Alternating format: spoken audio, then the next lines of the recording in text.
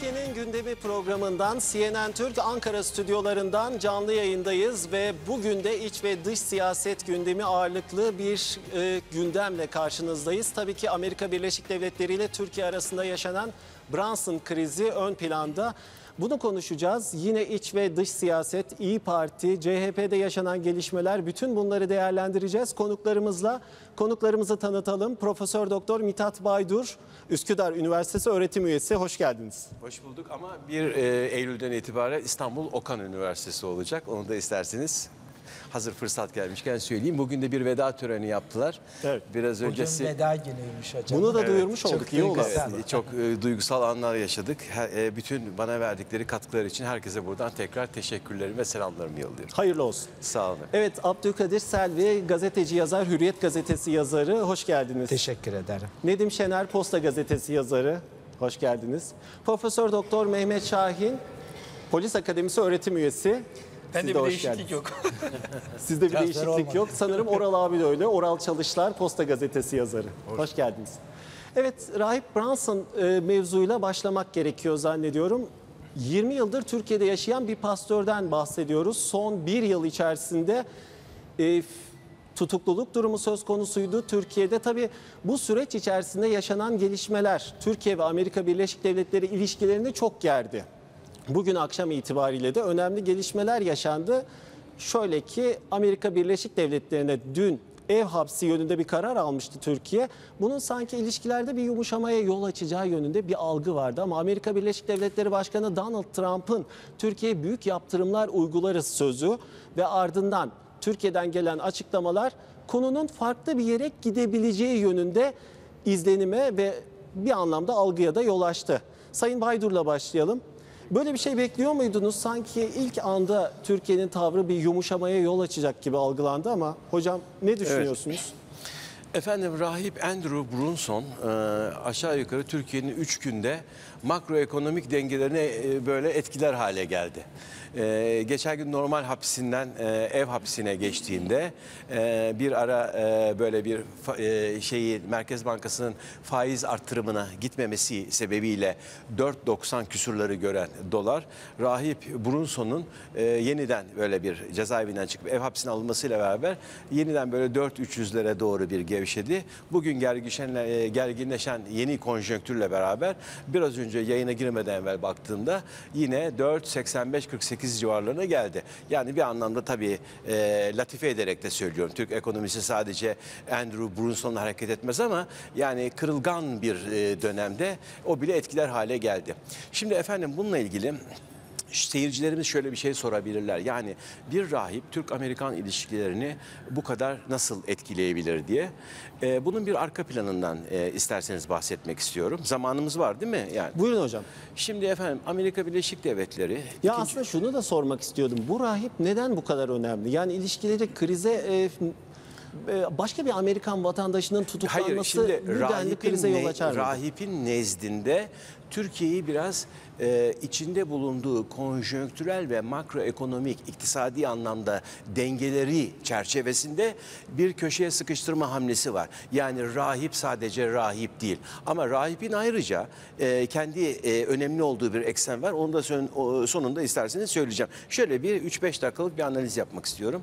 Şimdi efendim 2. Dünya Savaşı'ndan sonra Amerika Birleşik Devletleri dünya nizamını kurarken dünyanın total gayri safi milli hasılasının %44'ünü oluşturuyordu. Ama o dünya yok. Soğuk Savaş'tan sonra bugün Amerika Birleşik Devletleri sadece 19.6'sını falan oluşturuyor. Bu güç kaybeden Amerika uluslararası sistem boşluğu kaldırmıyor.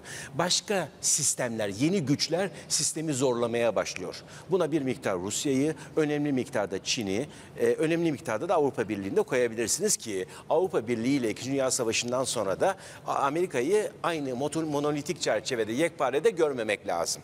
Şimdi aslında 3. Dünya Savaşı'nın aslında bir takım bu e, şeyleri, ayak sesleri. Umarız ki tabii ki asla lokal ya da küresel bir savaşa dönüşmesin ama ticaret savaşından başlayarak karşılıklı bu 3. Dünya Savaşı sürecinde hamleler yapılmaya başladı. Şimdi iki ekol çarpışıyordu Amerika Birleşik Devletleri'nde. Biliyorsunuz e, bundan önceki Obama döneminde Amerika Birleşik Devletleri hemen bir parantez açarak söyleyeyim. Irak ve Afganistan'da Trump da sık sık di- dile getirdi bunu. 8 trilyon dolar falan harcadı ve sonunda hiçbir şey elde etmedi. Bir parantez daha. Aslında Amerika Birleşik Devletleri 2. Dünya Savaşı'ndan sonra müdahil olduğu hiçbir sorunu halletmeden geri çekildi. Bu da bir süper gücün ne kadar etkili olduğu ya da olmaması konusunda ayrı bir makale ya da tez, ayrı bir analiz konusu olabilir. bize nasıl Fakat geldi hocam? Şimdi Evet. şöyle, e, Trump geldikten sonra Trump başlangıçta e, farklı bir ekolü temsil ediyordu. Yani Rusya ile ilişkilerin biraz daha e, Rusya ile daha iyi ilişkiler kurarak, bölgede işbirliği yaparak e, belki Çin'i hedefe koymaya. Fakat böyle bir tercihinden sonra kendi şahsi kanaatimi söylüyorum. E, Trump'ın ekibinden 71 kişi görevinden ayrıldı gelip gidenler, Steve Bannon'lar, Mike Flynn'lar falan bütün bunları arka arkaya koyduğunuz zaman 71 kişi görevden ayrıldı. Şimdi giderek sertleştirmek isteyenler ağırlığını hissettiriyorlar. Buna John Bolton'u ulusal güvenlik danışmanı koyabilirsiniz. Şimdi birazdan söyleyeceğim. Rahip Brunson'la bunun onun hepsinin kesiştiği Bu yerleri. arada sözünüzü kesiyorum ama biraz önce Dışişleri Bakanı Mevlüt Çavuşoğlu bir tweet attı. Son tweetinde diyor ki hiç kimse bize talimat veremez. Kimsenin tehdidine de boyun eğecek değiliz. Hukuk kuralları istisnasız herkes için geçerlidir. Dışişleri de bu yönde bir açıklama yapmıştı biraz önce. Tabii. Zannediyorum paralel bir açıklama. Buyurun. Evet efendim. Şimdi giderek sertleştirmek isteyenler ön plana çıkıyor. Burada temel e, esas parametre İran meselesidir. Geçenlerde mesela Lavrov, e, Rus Dışişleri Bakanı Lavrov, e, ismi aklımda yanlış kalmadıysa Ürdünlü mevki, mevkidaşı Eymen El Safa diye bir açıklama yaptı. Dedi ki, yani İran için söylüyor, e, İsrail e, Suriye sınırında sahadaki paramiliter güçleri 100 kilometre kadar geriye çıkacağız dedi. Yani anlaşılıyor ki Amerika Birleşik Devletleri ve Rusya bile İran'ı da gücendirmek pahasına bir İsrail'in oradaki istekleri ve talepleri doğrultusunda yeni bir düzenlemeye doğru gidiliyor. Şimdi yalnız şuradaki e, şunu söylemek lazım. Burada Türkiye kilit durumda. Şimdi eğer er ya da geç ama bunun iki senedir hep hazırlıkları vardı. Yani ben iki sene önceki Amerika Birleşik Devletleri'nde yayınlanan makaleleri hatırlıyorum mesela. Ee, eğer İran'a karşı mesela hatta Türkiye ile ilgili çok ilginç bir makale vardı. Şimdi İngilizcesini söylemeyeyim. Eğer İran'a karşı bir operasyon yapılırsa Türkiye ile Amerika Birleşik Devletleri karşılıklı işbirliği içerisine girer mi diye onu analiz, analiz ediyorlardı. Şimdi burada İran meselesinin giderek gündeme oturacaksa Türkiye çok kilit bir ülke. Hocam Ama bu böyle bir hale geldi ki gelirsek Türkiye... yani ilk bölümde biraz kısa kısa değerlendirelim istiyorum da sırf Tamam. konudan Şimdi şunu söyleyeyim. Tabii efendim. Şimdi şunu söyleyeyim. Ee, Amerika Birleşik Devletleri şundan cesaret aldı. Ee, mesela şunu bence yapmamalıydık. Kendi şahsi kanaatimi söylüyordum. Ee, mesela e, başbakanlık şimdi devri bitti. Başbakan yok artık sistem değişti ama varken çok kısa bir süre önce Binali Yıldırım Almanya'da Merkel'le beraberken mesela Deniz Yücel meselesine sürpriz gelişmeler olur dedi. Daha başbakan Türkiye'ye gelmeden önce Deniz, Yıl- Deniz Yücel serbest bırakıldı. Şu dış dünyada şöyle bir kanaat uyandırıyor bize. Bu geçerli olmayabilir.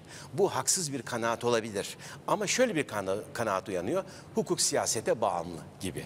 Dolayısıyla burada Türkiye isterse bunu tamamen serbest bırakabilir gibi bir kanaat ver. Bir. ikincisi Doğru mudur bu Türkiye'yi Hayır. Olur mu Türkiye'de biz zaman zaman şikayet iyi ya da kötü işleyen bir hukuk sistemi var. Zaman zaman şikayetçi öyle bir şey olabilir mi? Şimdi neticede mahkeme karar vermiş, e, cezaevinden çıkmış, ev, ev, ev hapsine girmiş. Yani ABD Türkiye'yi zorlayarak böyle bir siyaseten bir karar alabileceği gibi bir kanaat var. Bu kanaat yanlıştır. Türkiye kendi bölgesi hep söylediği gibi devasa olan, e, devasa bir ülkedir çok uzun yıllardan beri gelen bir belli bir hukuk sistemi vardır. Sancılı da olsa iyi kötü işleyen bir hukuk sistemi vardır. Bu kanaat tamamen yanlış. Ancak John Bolton, Mike Pompeo son cümlemi söylüyorum. Bunların hepsi evangelistler. Bu ayrıca incelenmesi gerekir ve ayrıca evangelist olmaları yetmiyor. Rahip Andrew Brunson'la beraber evangelizmin yani o çatı çatı inanç sisteminin Eastminster Kilisesi'ne bağlı. Aynı kilisenin elemanları. Bu en son söylediğim belki daha önemli. Aynı kilisenin mensubu olduğu için çok özel bir çaba gösteriyorlar. Trump yönetimi açısından Trump son yönetimi derecede açısından, kritik. Abdülkadir Selvi'ye dönelim. Şimdi gerçekten dün alınan kararın ardından, ev hapsi kararının ardından konu yeniden gündeme geldi. Sanki Amerika Birleşik Devletleri jest yapacak gibi. Ben de e, senin yayınını izledim ve o yayında da e, sen karşılıklı bir jest olabileceğini söyledin ama Amerika Birleşik Devletleri sanki bunu bir jest olarak algılamamış. Net bir şekilde büyük ekonomik yaptırımlardan söz ediyor. Ne olabilir bu yaptırımlar? Doğrusu dün karar alındıktan sonra Brunson'ın ev hapsine alınması kararı ve tahliye sürecinde yayınlara bağlandığımızda dedik ki Türkiye bu konuda ilişkilerin normalleşmesi açısından bir adım attı. Bir yandan hukukun gereğini yani yargılama sürecini devam etti. Yine hukuk içerisinde bir e, adım attı. Bundan sonra Amerika'nın artık bir adım atması gerekir. Uzatılan eli boşa çevirmemesi gerekir diye bu beklentilerimizi e, ifade ettik. Ama bugünkü tabloyu özellikle akşam saatlerinde yayına hazırlandığımız saatlerde bir bir ardına Başkan Yardımcısı Pence işte Rahip Brunson'la aynı kiliseye mensup bir evangelik e, ve Başkan Trump'ın yaptığı açıklamalar Türkiye'ye yönelik yaptırımlardan, büyük yaptırımlardan e, söz etme, etmeleri ya da Türkiye Brunson'ı serbest bırakmazsa sonuçlarına katlanır şeklinde tehditkar dil e, kullanmaları dünkü beklentilerimizin, değerlendirmelerimizin tam tersineydi. Çünkü biz orada aklı selimle bir değerlendirme yaptık. Zaten uzun süredir Amerikan yönetimine bir aklı selim hakim değil. Ancak Amerikan e, yönetiminin tabii şunu görmesi gerekiyor. Türkiye'de e, Rahip Brunson'la ilgili iki e, ana iddia var. Bir PKK, bir FETÖ bağlantısı nedeniyle. Fakat bu iddianamesi hazırlanmış, yargılama süreçleri başlamış ve bu yargılamanın bir aşamasında da ev hapsiyle yine cezalandırma sisteminin daha hafifletilmiş bir parçasıyla devam ediyor. Ancak aynı şekilde Türkiye'de 15 Temmuz'da kanlı bir darbe girişiminin yani 251 vatandaşımızın öldüğü, meclisimizin bombalandığı, 2000'e yakın vatandaşımızın gazi olduğu, kanlı darbe girişiminin lideri olan Fethullah Gülen'le ilgili olansa Türkiye'nin gönderdiği belgeler dahi kapağı açılmamış. Adalet Bakanlığı'na bu belgeler intikal ettirilmemiş. Yani ortada e, işleyen hukuk konusunda bir asimetrik durum e, söz konusu. Tabii e, şunu görmek gerekiyor. Amerika'nın da bunu görmesi gerekiyor. Amerika artık e, korkulan bir ülke değil. Amerika artık verdiği çelişkili kararlarla ciddiyeti Abdülkadir sorgulanan bir ülke. bölüyorum ama Erdoğan Putin'le görüştü Güney Tabii. Afrika'da ve görüşme 1 saat 15 dakika sürdü. Onu da hatırlatalım. Evet, Böldüm, e, önemli bir e, görüşmeydi. Bu zirvenin belki de en önemli görüşmesiydi Evet. diyebiliriz. E, tabii burada Amerika ne yaptı şu kısa tarihinde baktığımızda? Amerikan seçimlerine Rusya'nın hile karıştırdığı söylendi. Ama geçen hafta Rus Devlet Başkanı Putin'le bir araya geldiğinde e, Trump kendi ülkesini suçlayan bir pozisyonda yer aldı. Amerika ne yaptı? Kuzey Kore'yi tehdit etti, savaşla tehdit etti. Sonra Kuzey Kore lideriyle görüşmek için ertelenen randevuları gerçekleştirmek için adeta 40 takla attı. Amerika ne yaptı? Katar'a ambargo kararı aldı. Ardından ambargodan e, sonra silah e, satmaya kalkıştı ve silah sattı. Ee, Amerika ne yaptı? Şimdi İran'ı sıkıştırıyor. İran'a bir takım yaptırımlardan söz ediyor. Afganistan, Irak ve Su- e, Suriye konusundaki ortaya koyduğu iç savaş ve kaostan kaynaklı sicil ortada. Yani şunu demek istiyorum. Amerika şimdiye kadar dünya liderliğini büyük ölçüde kaybetti. Hala bunun farkında değil. Verdiği kararlarla en büyük müttefiki olan Batı ülkeleriyle, Avrupa Birliği ülkeleriyle, NATO ülkeleriyle biliyorsunuz NATO zirvesinde de e, üyelerin %2'lik payından dolayı çok aşağılayıcı onları bir dil kullanmış ve bir krize neden olmuştu. E, NATO müttefikleriyle, batılı müttefikleriyle e, aralarını açan, ilişkilerini e, kötü noktalara taşıyan bir pozisyonda duruyor. Şunu söylemek istiyorum. Bu dil, Türkiye'ye yönelik tehdit dili Soğuk Savaş dönemlerinde dahi geçerli olmayan bir dildi. Kıbrıs Savaşı'ndan dolayı bir ambargo da koydular. Netice ne oldu? Türkiye büyük bir ülke olarak burada yerinde e, duruyor. E, bundan sonraki aşamada tabii Türkiye kendi ağırlığına yakışır bir şekilde bunun elbette ki e, cevabını verecek ama şunu unutmaması gerekir. Bir, artık tek kutuplu bir dünya yoktur.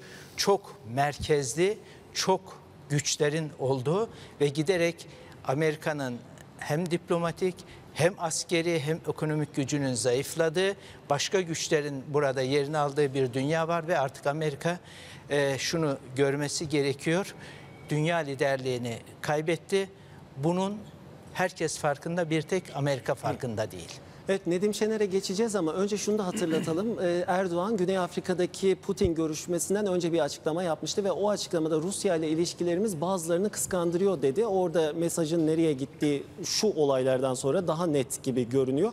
Nedim Şener size şunu sormak istiyorum. Şimdi hukuk siyaset bağlantısı hep tartışılıyor, konuşuluyor ama şimdi Amerika Birleşik Devletleri'ne Fethullah Gülen'in iadesi yönünde başvuruda bulunulduğu zaman hukukun yargının bağımsızlığından bahsediyor. Bir yandan da e, son yaşanan olaydan sonra Brunson olayından sonra Trump bir e, mesaj gönderiyor ve Türkiye'ye büyük yaptırımlar uygulanacağını söylüyor. Ya hukuk ve siyaset bağlantısının artık e, olduğu net bir şekilde ortada. Buradan bırakayım ve siz devam edin. Buyurun. Şimdi hukuk hani bir zamanlar bizim çok önemsediğimiz işte e, adalet onun üstündeki bir kavram olarak hukuk bir araç ama adalettir amaç e, dediğimiz o süreçlerin artık devletler nezdinde hiçbir anlamı kalmadığını, e, küresel anlamda sadece bir araç olduğunu e, görüyoruz. E, Amerika Birleşik Devletleri hukuk konusunda yani Türkiye'ye bir takım tavsiyelerde bulunurken e, işte Fethullah Gülen örneğini veriyorsunuz.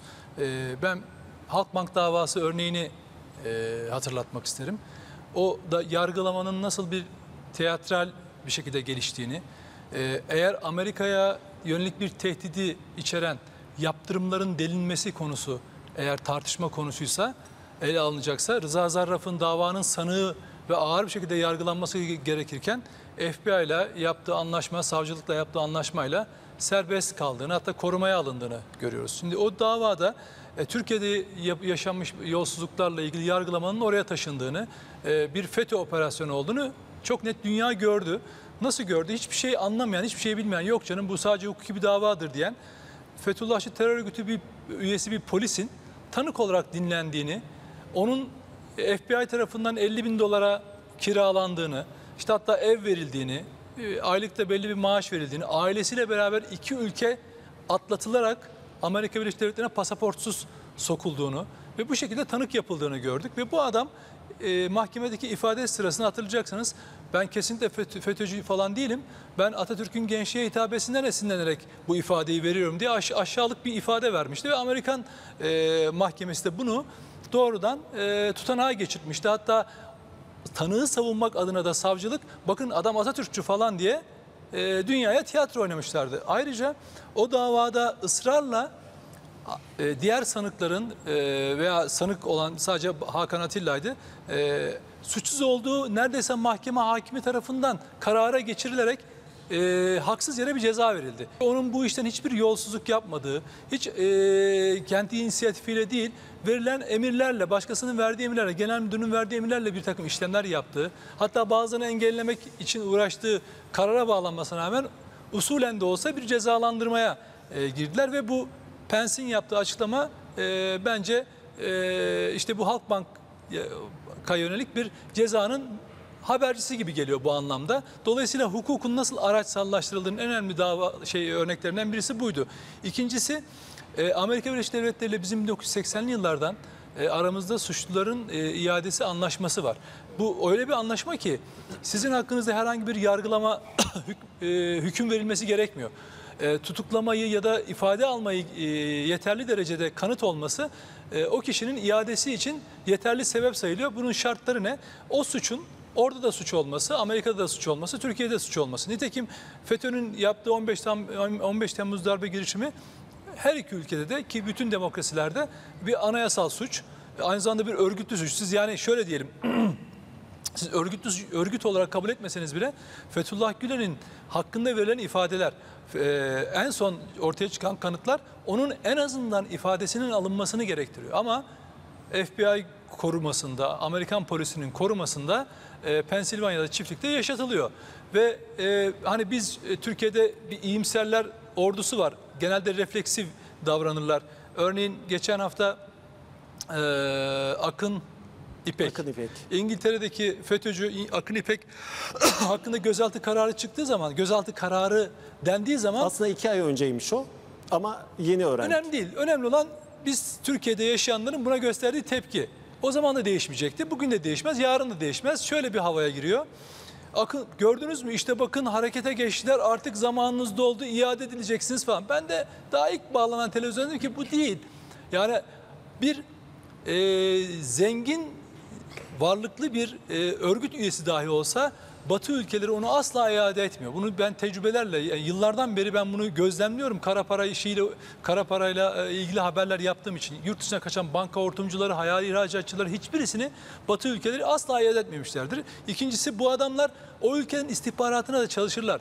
Yani İngiltere Akın e, İpek'i hakkındaki aldığı karar onun hayatını kolaylaştıran, işte nerede bulunduğundan emin olmak üzere e, onu güvenceye alan bir karar almış. Ama Türkiye'deki basın herkes iade edilecek düşüncesi içine giriyor. Şimdi bu Brunson kararından sonra da işte geliyor Fethullah Gülen'le bir e, e, iade şeyi. Şimdi bu tamamen Amerika'yı ve FETÖ meselesini anlamamış insanların yapacağı yorum.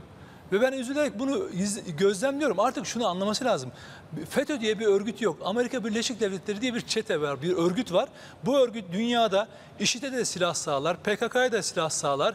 İsterse İran-Irak Savaşı'nda olduğu gibi karşı şeytan e, e, ilan ettiği İran'a da el altından silah sağlar. Onunla gidip kontra gerillalara e, Afrika, e, e, Güney Amerika'da e, e, para verir, onlar onlara silah alır, silah sağlar. Şimdi dolayısıyla karşımızda küresel bir çeteleşmiş bir devlet var. Amerika Birleşik Devletleri bunun adı ve bizim müttefikimiz sayılıyor.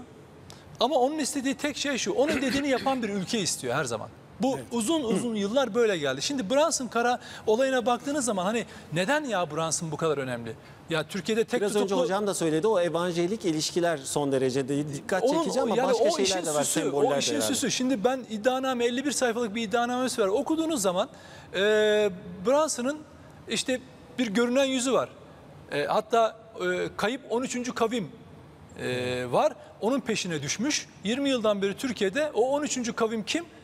E, Kürtler ona göre. O yüzden de kiliseye bunları e, kazandırmak e, ve bunun üzerinden e, Güneydoğu'da e, Kürtleri 13. kavim olarak Hristiyanlaştırmaya amaçlayan bir bir faaliyet içinde olduğunu görüyorsunuz. Ama kendisi bunu yaparken Bu arada Nedim Şener son bir dakikamız reklam için onu e, size bunu yaparken e, ortaya hakkında açılan soruşturma var. E, o sırada Doğa isimli bir gizli tanık ortaya çıkıyor.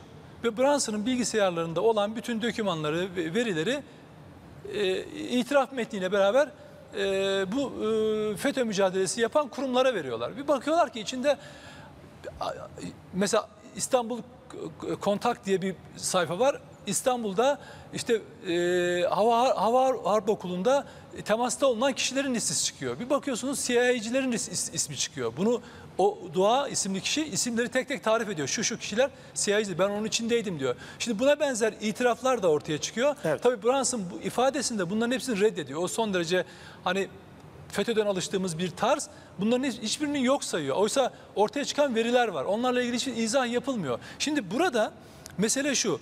Elde elle, el, isterseniz siz şey yapıyorsunuz. Reklamdan şeyden sonra, devam edelim. öyle Böyle bir devam edelim. sıkıntımız var. Ee, e, daha Profesör Mehmet Şahin ve Oral Çalışlar da e, bu konuda değerlendirmelerde bulunacak. Şimdi kısa bir reklam arası Brunson ve Türkiye-Amerika Birleşik Devletleri gerilimiyle reklamlardan sonra devam edeceğiz.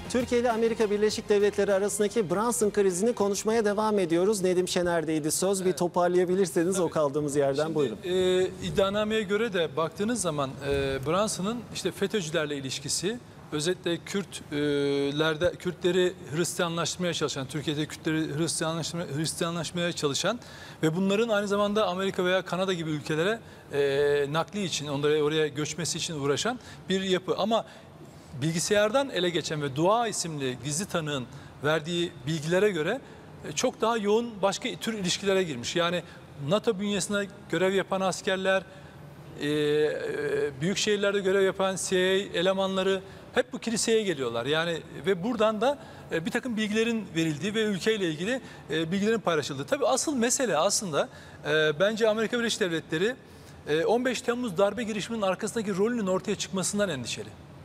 Bunu İncirlik üstündeki o gece e, yaşanan olaylardan da anlıyoruz. Fethullah Gülen'i iade etmemesinden de anlıyoruz.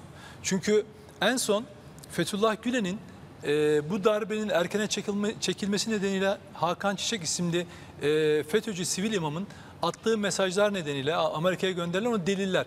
Bunları Evet. köşeye sıkıştıran Kemal Batmaz'ın Amerika'da Fethullah Gülen'i sivil imam e, ziyareti bu tür somut deliller varken onu iade etmemesinin bir tek nedeni var. Şimdi Fethullah Gülen veya o FETÖ e, çetesi bu darbeyi gerçekleştirirken bir kendi çıkarı asıl iki Amerika'nın çıkarı için gerçekleştirdi. Amerika Birleşik Devletleri Ya- ve FETÖ arasındaki paralellik bu Bütün bunun mesele net bu. Yani zaten, Zaten bu Brunson'ın neden, neden ortada. istiyor ise Fethullah Gülen de ondan iade etmiyor. Çünkü casusluk var ortada ve Türkiye aleyhine faaliyet var. Tam bu noktadan devam edelim. Ee, Profesör Mehmet Şahin. Yani şimdi iş sertleşti. Aslında şeyi çok konuştuk. Yani Amerika Birleşik Devletleri ile Türkiye arasındaki bu gerilimin, FETÖ bağlantısının, Brunson'ın ne kadar önemli olduğunun ayrı bir yere konulması dışında başka şeyler de var. Yani büyük e, yaptırımlardan bahsediyor Trump. Mesela ne olabilir? F-35 projesi hep konuşuyoruz.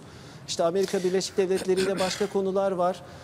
Büyük yaptırımlar derken ne kastediliyor? Türkiye bundan sonra ne yapabilir? Amerika Birleşik Devletleri'nin yani bu sorunu anlamak için bence iki şeye bakmak lazım. Bir, Trump yönetiminin tavrı. İki, bence e, burada Brunson'ın ben bahane olduğunu düşünüyorum. 2013'ten bu yana zaten Amerika Birleşik Devletleri ile Türkiye arasındaki ilişkiler krizlerden oluşan ilişkiler. Dost şeyden değil yani böyle işbirliğinden oluşan ilişkiler değil. 2013'ten bu yana Türkiye'deki mevcut siyasi iktidara yönelik ve Türkiye'nin dış politikasına yönelik memnuniyetsizleri net bir şekilde ortada. Diplomasiyi bir tarafa bırakacağım. Bunlar Dışişleri Bakanlığı'nın ve diğer kesimin yöneticilerin işi. Ben gördüğüm kadarıyla bir akademisyen olarak anlatmaya çalışacağım. Veya bir Türkiye Cumhuriyeti vatandaşı olarak. 2013'ten bu yana Türkiye'nin bölgede takip ettiği ve içerideki tavrı Amerika Birleşik Devletleri'ni rahatsız ediyor. Amerika Birleşik Devletleri diyor ki benim alışık olduğum bir Türkiye var. Ben bunu bu, bu gayet iyiydi. Yani neydi bu alışık olduğu Türkiye onu da söyleyeyim açıkçası. İşte Soğuk Savaş döneminde belli tehditler vardı. Burada Türkiye'nin e, Türkiye'yi bir yere oturtuyordu. Burada Türkiye Amerika Birleşik Devletleri adına bölgede operasyonlar zaman zaman yürütüyor muydu? Yürütüyordu. Bunu siyasi tarihe baktığınız zaman rahatlıkla görürsünüz. Det- detayına girmeyeceğim. 2013'ten sonra işler değişti. Değişti derken Amerika Birleşik Devletleri'nin Türkiye'nin yakın çevresindeki politikalarıyla Türkiye'nin çıkarları uyuşmuyor. Amerika Birleşik Devletleri diyor ki ben bu politikaları izleme konusunda kararlıyım diyor. İşte Mısır'daki darbeye bakabilirsiniz, Kudüs konusundaki tavra bakabilirsiniz, İran konusundaki tavra bakabilirsiniz, Katar konusundaki tavra bakabilirsiniz, PKK'ya tonlarca vermiş olduğu silaha bakabilirsiniz. Yani hangi Orta Doğu'da bir adım atıp da bugün 2013'ten sonra Amerika Birleşik Devletleri'nin kendi müttefiki Türkiye'nin hakkını koruyan hiçbir davranışı yok. Tekrar söyleyeyim hiçbir davranışı yok. Ben de Brunson meselesi şu.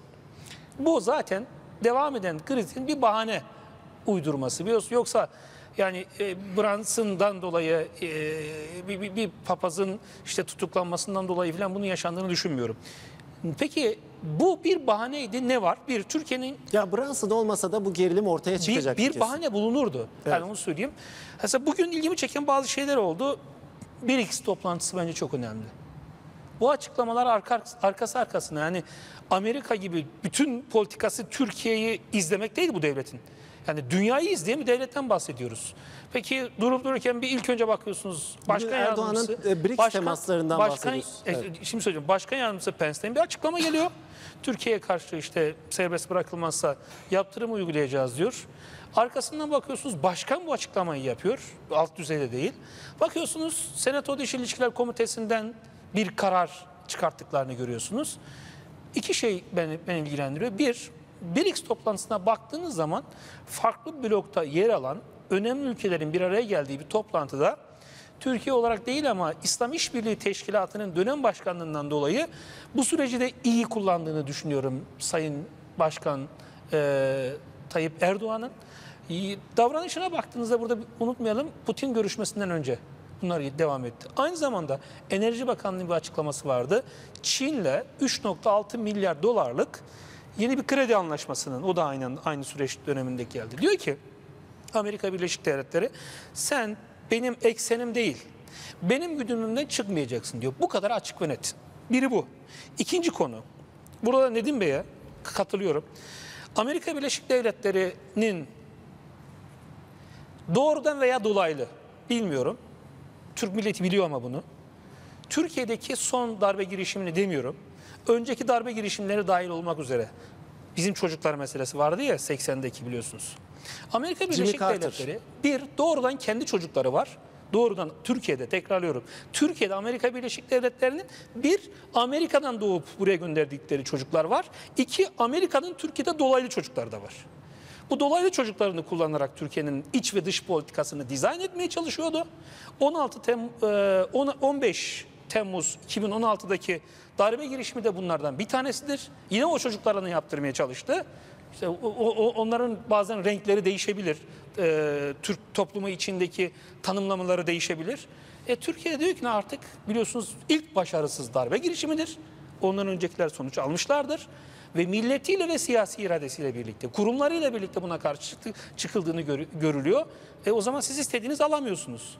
Şimdi bu darbe sürecinin içinde yer almış olan doğrudan çocuklarını ve dolaylı çocuklarını korumaya çalışıyor Amerika Birleşik Devletleri. Benim gördüğüm bu. Yani diploma, di- diplomasi dili farklı olabilir. Düşünebiliyor musunuz? Bu darbe sürecinin içinde yer aldığı iddia edilen detaylarını Nedim Bey benden daha iyi biliyor. Çünkü ben o şeye bakmadım açıkça söyleyeyim. Şöyle bir özet şeyine baktım. Neyle suçlanıyor falan diye. Biz onu papaz diye biliyorduk. Şimdi açıklamaya bakıyorsunuz. Açıklamada diyor ki eee, Trump'ın açıklamasında ABD Başkanı bu iyi bir Hris- Hristiyandır falan diyor. Türkiye Brunson'ı iyi bir Hristiyanlık yapıyorsun diye yargılamıyor ki. Kimse sana Hristiyanlık yapıyorsun, dini görevini yapıyorsun, şunu yapıyorsun. Misyonerlik yapmak da Türkiye'de suç değil, onu da söyleyeyim. Bunu yapıyorsun da diye bir, bir, bir suçlama yok. Sen niye bu sürecin içinde, yani burada niye casusluk yapıyorsun suçlaması var. Enteresan bir şey var yalnız, o çok en- büyük devlet olmakta. Amerika Birleşik Devletleri'nin son dönemde alışmış olduğu bir tavır ortaya çıktı. Şu, büyük devlet olmakla küstah devlet olmasında a- a- devlet arasındaki ilişki çizgiyi kaçırdılar kaçırdılar diye düşünüyorum. Ama bundan sonuç alıyorlar mı? Alıyorlar. Nasıl alıyorlar? Avrupa Birliği'ne diyor ki biliyorsunuz bu özellikle vergilerden dolayı daha iki gün önce anlaşma sağladılar. Yani otomobil dışarıda olmak üzere diğer konularda bastırdı aldı. NATO konusunda bakıyorsunuz diyor ki şunları şunları yapacaksınız. Aldı mı? Aldı. Rusya yaptırım uygulayacağım diyor. Şeye diyor ki İran'a dünyada görmediğiniz, dünyada görülmemiş bugüne kadar büyük bir azametle geliyorum üzerinize diyor. İşte başka konularda bakıyorsunuz aynı tavrı gösteriyor. E Türkiye diyor ki "Ya bakın siz bu konuda ya burada bir hukuk var. Eğer dünyanın en önemli güçlü ülkesi, çağımızın imparatorluğu, tekrar söylüyorum çağımız, çağımızın imparatorluğu, Birleşmiş Milletler Güvenlik Konseyi'nin en önemli daimi üyesi, Türkiye'nin müttefiki, asker an- anlamda dünyanın en güçlü ülkesi. Ya bir şey yaparken hiç olmazsa hukuk çerçevesinde yaptığınızı gösterirsiniz ki yarın biriyle ilişki kurduğunuzda hukuki anlamda anlatılabilirliğiniz olsun. Evet. Ama Amerika Birleşik Devletleri son dönemde şunu yapıyor. Ben güçlüyüm. Baskı yaparım. Hukuka uymasına gerek yok. Böyle bir beni bağlayıcılık da yok. Baskı yaparım ve koparırım diyor. Bu nereye kadar devam eder bilmiyorum ama bendeki görüş şu. Türkiye'ye bu baskı politikasının sökmeyeceği ve bunun ters tepeceğini düşünüyorum. Tam Açık da bu noktadan, tam da bu noktadan oral çalışları çok beklettik. Kusura bakmayın sizi çok beklettik gerçekten. Tam da bu noktadan alalım ve Türkiye Amerika Birleşik Devletleri arasında gizli bir gerilim, e, açık bir gerilim var ama gizli bir savaştan bahsediliyor aynı zamanda. Amerika Birleşik Devletleri Türkiye'yi geçmişte de tehdit etti filan dendi ama bu dil biraz ağır bir dil gibi görünüyor.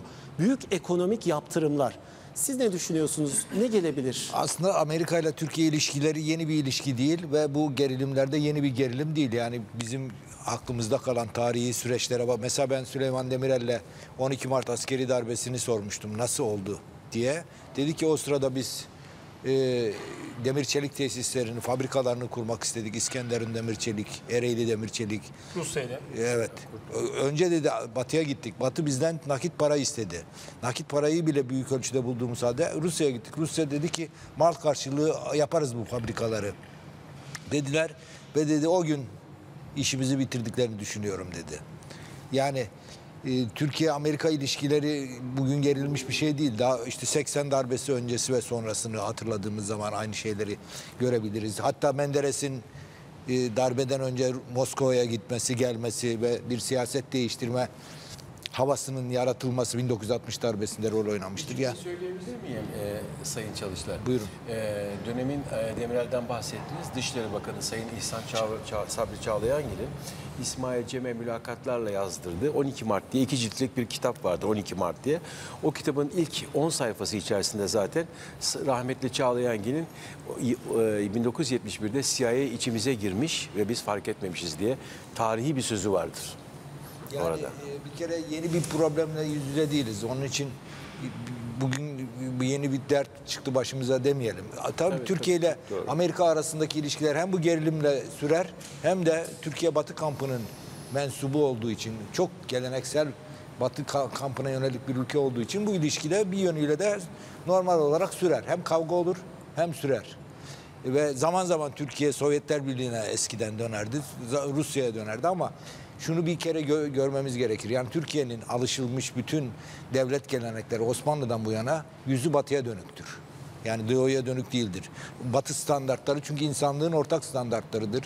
Evrensel demokratik kriterler, demokratik standartlar Çin'de veya Rusya'da bulamazsınız. Yani sonunda dönü, yüzümüzü batıya döndüğümüz zaman görebiliriz. Onun için batıyla ilişkileri e, şey olarak görmemiz lazım. Yani bir geleneksel insanlığın yarattığı ortak uygarlık mirası olarak görmek gerekir. Cumhuriyet kurulurken de öyle. Hem bir yandan e, İngilizlerle savaşı olmuş, Batı ülkelerinin işgaline uğramış bir ülke Türkiye. Hem de Cumhuriyeti kurduktan sonra Batı medeniyeti Türkiye'nin temel hedeflerinden olmuş. Bundan vazgeçmiş değiliz, vazgeçemeyiz de. Şimdi e, rahip meselesine gelince, şimdi rahip meselesinde biz tabii bu, bu taraftan bakıyoruz. O taraftan da bakmak lazım. Yani biz gazetecilerin özellikle dikkat etmemiz gerekir. Yani yalnızca Türkiye tarafından ve bir, bir, bir taraflı değil öbür taraftan. Mesela öbür taraftan baktığın zaman ben de davayı şö- şöyle e, esas olarak onlar nelerden şikayet ediyorlar diye baktığım zaman 18 ay iddianamesi yazılmadı mesela. 18 ay iddianame yazılmaması te- tepkiye yol açacak bir şey. Biz bizim en çok şikayet ettiğimiz konulardan biri Türkiye'de. Mesela Ya aynı var, şekilde- orada bir şey söyleyeyim. Mesela bizden giden dosyalarda daha kapağı açılmadı. iki yıl Aynı oldu. şeyi söyleyecektim Evet. ben de. Bu da benzer Yani bir da şey. Tamam tamam ama yani, benzer bir il- ilgisizlik işte ben de diyorum ki de. şimdi biz nasıl bizim dosyaların kapağını açmadık diye onlara kızıyorsak onlar da diyor ki rahibi tutukladılar 18 aydır hakkında iddianame yazıp mahkemeye çıkarmadılar. O da öyle bakıyor. İlk- Bir de yani mesela ben o, o savunmalara falan dikkat ettim. Yani nedir bu ta, ta- casusluk mesela casuslukla ilgili ciddi bir şey yok iddianamede. Daha çok e, misyonerlik faaliyeti yani Hristiyanlığı yayma, Mormon Ee, Az önce Mehmet Şahin Hoca misyonerlik suç değil Türkiye'de dedi ama Ya yani suç değil Değil, ama her yani zaman misyonerler yakalanır Türkiye'de. İddianamede FETÖ ve PKK ile e, ilişki Şimdi oradaki var aynı ilişkilere de baktım mesela. Orada, oradaki or- bak Oral abi. Şimdi şu iddianamenin bir sayfası. Evet. Şimdi böyle iddianame hiç gördünüz mü siz? Bakın şu çizgileri görüyor musunuz? Boşluklar. anladım yani. Şimdi, neden bu? Onu, şimdi onu, senin onu anlamak için şuraya dön- döndürüyorum. Bu da iddianamenin son sayfası. Amerikalılar dahil birçok sanığın ismi burada geçiyor ve bunlarla ilgili soruşturma yürüyor. Yani burada daha bizim görmediğimiz birçok delil var Şimdi- ve bağlantı var şu kişilerle İsim- ve bunlarla ilgili de soruşturma sürüyor. Şimdi bu bir casusluk soruşturması olduğu için ve yabancı ülkede olduğu için şeyler e, te- iddianamenin hazırlanmasının e, Şimdi gecikmesinin anladım. ana nedenlerinden Biz- birisi bu ya olsa bizim- gerek. Ya bizim- ben çünkü şöyle bir iddianame hiç görmedim. Neyse. Ya çünkü bu boşluk olmaz. Anladım. Bu kadar- ya bu her benim sayfada anla- var, Ben, ben şimdi dosyanın ayrıntısını bilmiyorum. Hayır, bak, bütün- değilim. şuraya bakar mısın? Benim Bak. anladığım şey şu. Şu. Ben siya- siyasi bir dakika Bakın böyle dinledim seni. bir ya. sayfa. Şimdi böyle ben- iddianame olur mu? Benim anladığım şey de şu. Kürtleri Hristiyanlaştırmak. Kürtleri Zaten oradan suçlanmıyor Üstad. Ama var Bunları o casuslaştırmaktan bahsediyorlar. Ya nasıl Yani casuslaştıracak? şöyle, onu alıp eğitiyor, tekrar bölgede kullanıyor. Mesela Suriye'den geçen insanlar yani, da. Yani esas esas karakteri okuduğun zaman adamın hayat hikayesini 25 yaşından itibaren 25 senedir ailesi de şey e, rahip rahip bir aileden geliyor. Misyonerlik Türkiye'de çok yaşadığımız, çok bildiğimiz Amerikalıların özellikle 1800'lü yıllarda özellikle Ermenilere yönelik olarak açtıkları okullar, eğitim sistemleri vesaire hep var. Ama o okulların daha sonra, e, oralar bu okulların daha sonra nasıl silah deposu olarak kullanıldığı ve nasıl casusluk faaliyetleri Tabii olarak ki. kullanıldığı yoğun bir şekilde. Yani orada e, şöyle Yok. söyleyeyim, bir din dini görevini yapıp bir din konusunda çalışması varsa ona kimse bir şey demiyor. Ama siz o okulu Ona kimse bir şey demiyor FETÖ'de deme. gördük biliyorsunuz. Bir dakika ona kimse bir şey demiyor deme. Ona diyor abi ya biz, ben sana gazete küpürleri göstereyim. Misyonerlikten yakalandılar. Misyonerlikten Hayır, hayır, yakalandılar diye hayır. Türkiye'de. Sonra AB AB sürecinde siz daha iyi AB süreci bu uyum yasaları konusunda bu e, misyonerliğin suç olma ya durumu kalmadı. zaten suç değil. Hiçbir Değil. zaman suç Hayır, değil. o tamamen e, garanti Yani altına alındı. Kimse bir şey suçlama yapmıyor orada. Onu söyleyelim. Şimdi Ama okul bak, özür dilerim. okullar, bak o okulların birinden de ben mezunum. Tarz Amerikan Koleji'nden. Eyvah eyvah. Yani sonuç olarak memleketin yöneticilerinin önemli bir kısmının yetiştirildiği, eğitildiği okullar bunlar. Yani buralarda bak bak, aşırıya götürürsek her şeyi, bütün bu eğitim sistemini falan filan başka türlü inşa etmeye kalkamayız. Yani Ama sonunda böyle olsa bir FETÖ ile bağlantısını üf, görmemek... ya FETÖ'yle bağlantısı şu benim anladığım iddianameden gördüğüm. Yani daha çok e, bu okul açmak, şey cami, kilise kurmak, yayılmak vesaire konusunda onlardan yardım alıyor. Almaya çalışıyor. Çünkü o zaman güçlüler. 2013'e kadar Türkiye'nin Ali Kıran başkeseni onlar. Yargı ellerinde, polis ellerinde, bürokrasi ellerinde. Yani iddialar arasında var yani o, o iddianameyi okuduğun zaman senin iddianamede görebiliriz. Şimdi bilmiyorum bunlar ne. Bu, bu kadar hukuki tarafını incelemiş değilim ve iddia edebilecek kadar da bu me- meselenin hukuk tarafına yönelmiyorum. Benim bakmak istediğim şey şu. Yani sonunda 18 ay iddianamesiz gelmiş bir rahip var ve bu konuda belli ki orada bir duygusal kamuoyu yaratılıyor Amerika'da. Çünkü daha önce de tweetleri var şeyin hatırlarsanız Trump'ın. Dünyada en çok eziyete uğrayan adam Brunson falan diye duygusal bir atmosfer içinde. Şimdi bunu bu devletler arası tartışma olarak sürer. Yani Türkiye ona sert bir cevap verir. Verdi nitekim hem Dışişleri Bakanı hem Cumhurbaşkanlığı hukukun esasıdır diye. Onlar da der ki bu hukuka göre bunu tutuklu yargılamanız mümkün değil. Diplomatik pasaportla hallederiz diyebilir. Bunlar bu tartışmalar sürer. Burada bence biz e, daha çok şeye bakalım. Yani kendi ülkemizin e, geleceğiyle ilgili hangi ilişkiler şekillenecek? Yani mesela hepimiz endişelendik şimdi bu kadar sert bir kavgaya girdiği zaman yarın zaten kırılgan bir ekonomi rayı üzerinde gidiyoruz. Bunun etkisini ne, ne gibi olumsuz sonuçlara yol açar diye endişelendik. Ben endişelendim, sen de endişelendin, arkadaşlar da endişelendi. Endişeleniyoruz. Yani e, şöyle bir şey daha var. Yani Türkiye acaba bütün bu tartışmaların sonunda yüzünü Çin'e ve Rusya'ya dönerek bu işlerin altından kalkacak, kalkabilir mi? Sorusuna da cevap bulmamız lazım. Mesela eğer böyle bir perspektif varsa devlette ve böyle bir şey varsa bizi inandırsın, ben de inanayım. Tam Yani böyle bir şey olabilir diye Soralım istersen. Abdülkadir Selvi siz Türkiye'nin Rusya ve İran'a yüzünü dönme yönünde bir stratejisi buna tepki olarak belki de bundan bağımsız olarak böyle bir şey olduğunu düşünüyor musunuz? Belki de bu sorunun tam cevabı Sayın Cumhurbaşkanı'nın e, Putin'le görüşmesi nedeniyle biraz önce bu ilişkilerimizi, bu ilişkilerimizin her yönündeki gelişmeleri birileri kıskanıyor ya da birilerini kıskandırıyor şeklinde bir değerlendirmesi vardı. Doğrusu Türkiye e, bir süredir e, Amerika ile olan ilişkileri 2013 yılından beri istenen bir düzeyde cereyan etmiyor. Bunu Türkiye özellikle de Suriye'de ve Irak'ta devam eden süreçler e, nedeniyle Rusya ile ilişkilerini geliştirmek suretiyle bir dengelemeye e, çalışıyor. E, artık dünya toplu dünya değil, çoklu güçlerin olduğu, çoklu ittifakların olduğu bir dünya. Türkiye, Amerika ve Batı dünyasından koparak Rusya ile Çin'le İran'la yeni bir ittifak kurmak, yeni bir pakt kurmak gibi bir şeyin arayış içerisinde değil. Türkiye'nin temel tercihi yine Batı dünyasıdır ama burada il- ilişkileri eskiye göre daha iyi diyebiliriz e, Rusya'yla. İran'la ilişkileri daha iyi diyebiliriz. Çünkü bunlar bizim aynı zamanda müttefiklerimiz. Bakın Türk siyasi hayatının geçmişine baktığımızda biraz önce Oral abi de e, işaret etti. E, işte 27 Mayıs'tan önce rahmetli Demirel, e, rahmetli Menderes'in önemli bir Amerika gezisi var e, biliyorsunuz. Orada yardım e, almak Moskova istiyor. gezisi.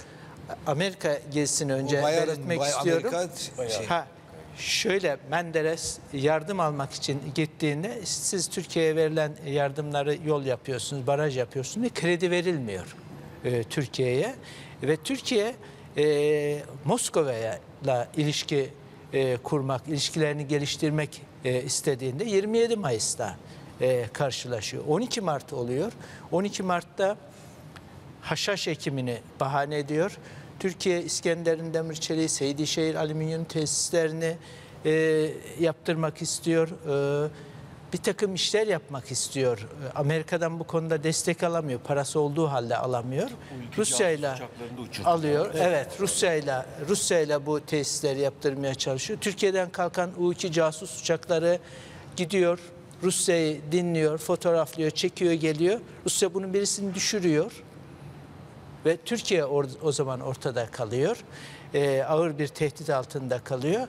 Yani demem o ki Türkiye Rusya ile İran'la zaman zaman ilişkilerini geliştirmeye çalışıyor.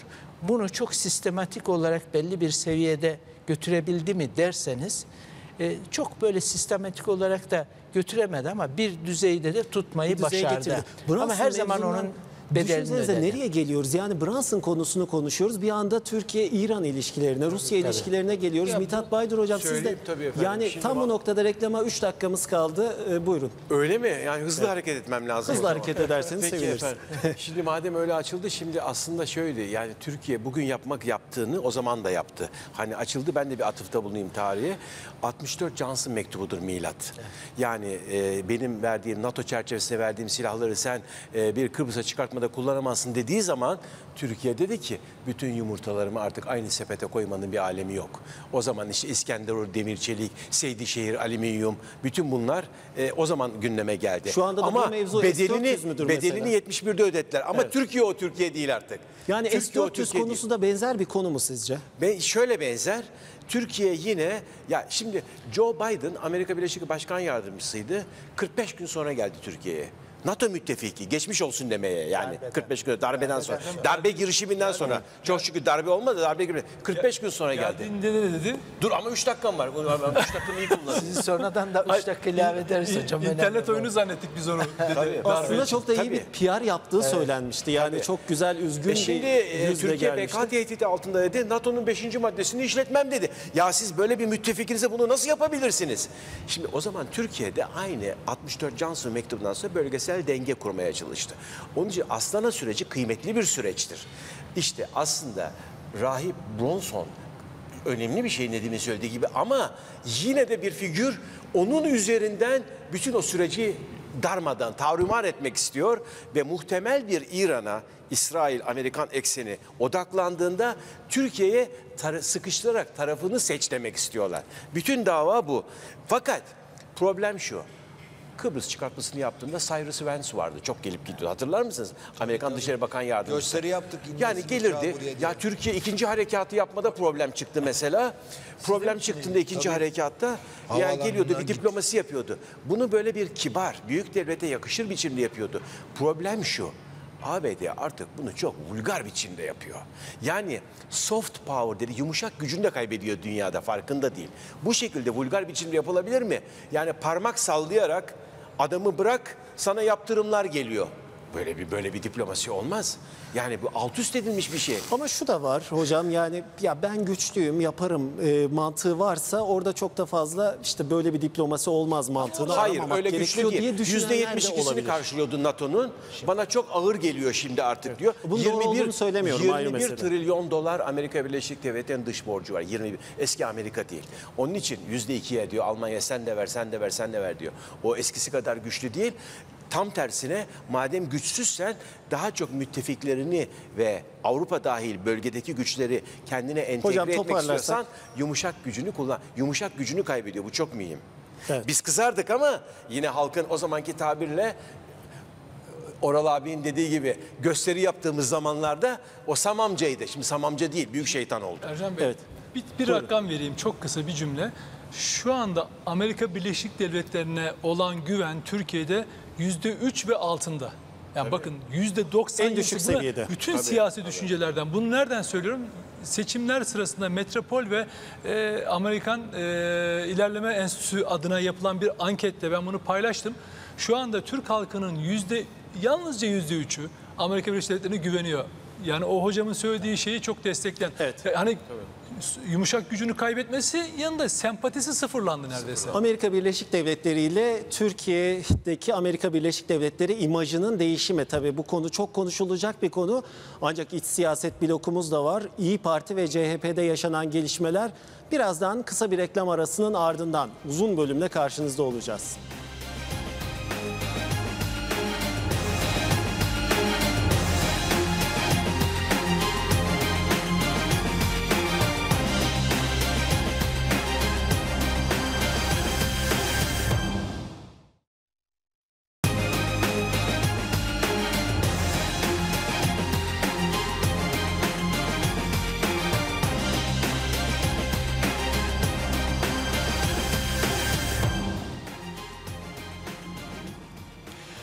Türkiye'nin gündemi programında CNN Türk Ankara stüdyolarında devam ediyoruz konuşmaya. Bu defa iç siyaset konuşacağız. CHP ve İyi Parti'de gelişmeler var. Tabii CHP'de kurultay tartışmaları devam ediyor.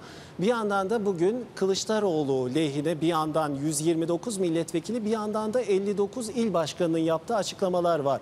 Olağanüstü kurultaya karşı açıklamalar. İmza toplandı mı toplanmadı mı? Tabii kadim bir konu haline geldi ama şunu da söyleyelim İyi Parti'de de bazı gelişmeler var. Sadece 3 ay öncesinde CHP ve İyi Parti'nin bir anlamda seçim ittifakı ve seçim öncesinde de 15 milletvekilinin geçişiyle ilgili işbirliği vardı. İş bu noktalara geldi. Nasıl geldi? Konuşmaya Oral Çalışlar'la başlayalım.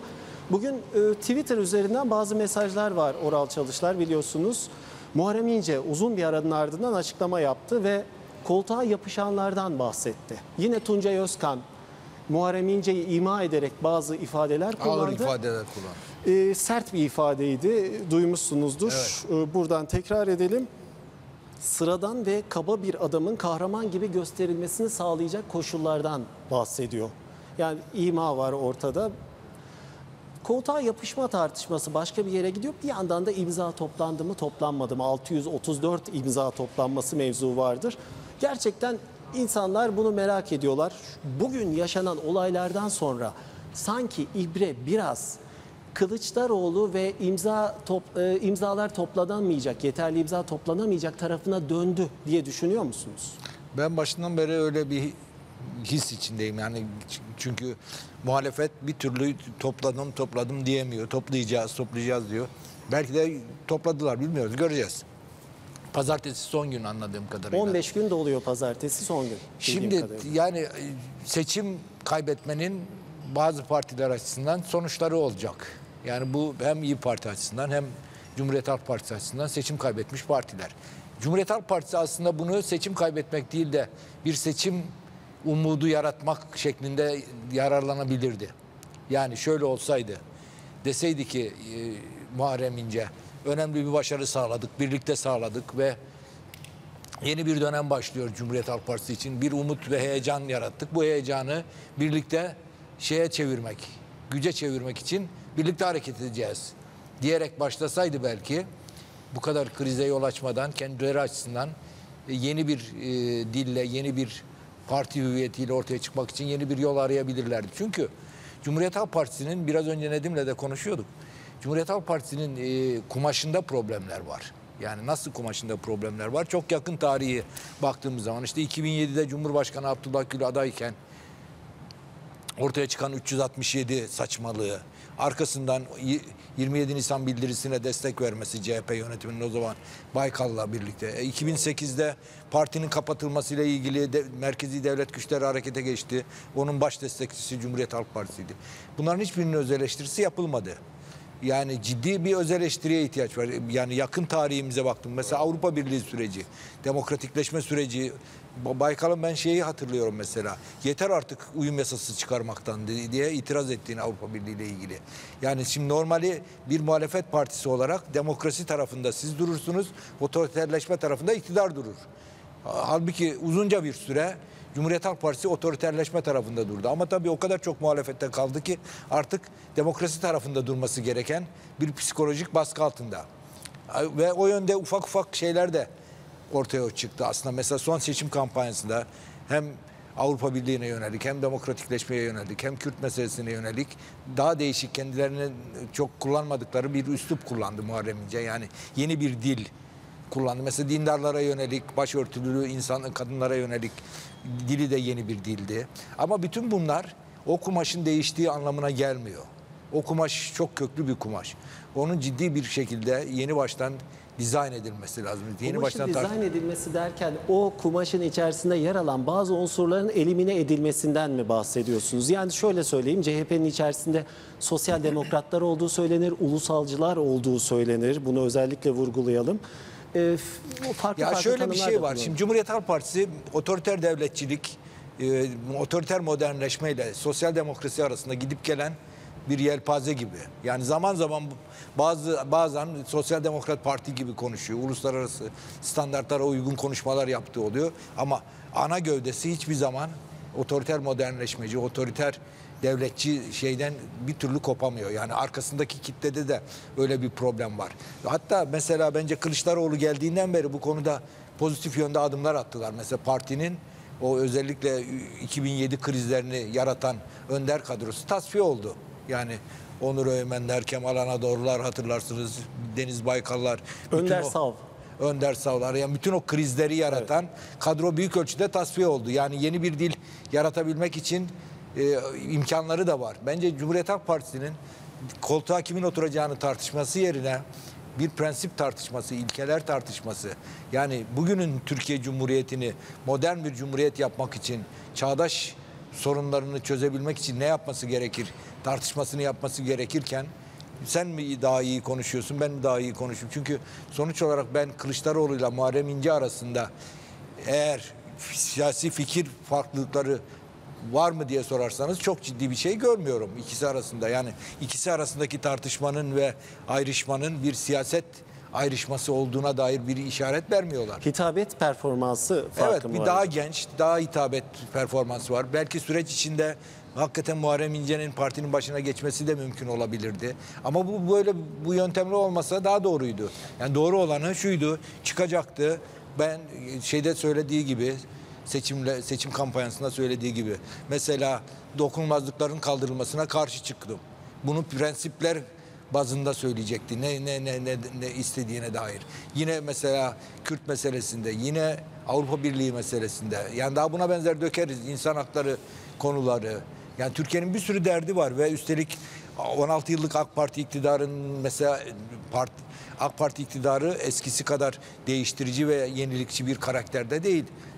Daha statükoya yatkın bir çizgi izliyor. Onu değiştireceğim diye çıkabilir ortaya. Yani AK Parti nasıl yendi CHP'yi? Statükoyu o temsil ediyor. Ben değişimi ve yenileşmeyi temsil ediyorum dedi. Ve uzun yıllarda bu süreci sürdürebildi AK Parti. Ama şimdi bir iktidar yorgunu, bir uluslararası değişimin getirdiği problemler, çe- çeşitli nedenlerini tartışabiliriz ama AK Parti'ye statüko yönünden yöneltilecek çok eleştiriler var. Tam da bu noktadan alıp Mehmet Şahin Hoca'ya sormak istiyorum. Yani Oral Çalışlar diyor ki e, izlediniz e, aslında İnce ile Kılıçdaroğlu arasında temel politikalar anlamında ciddi farklılıklar yok diyor.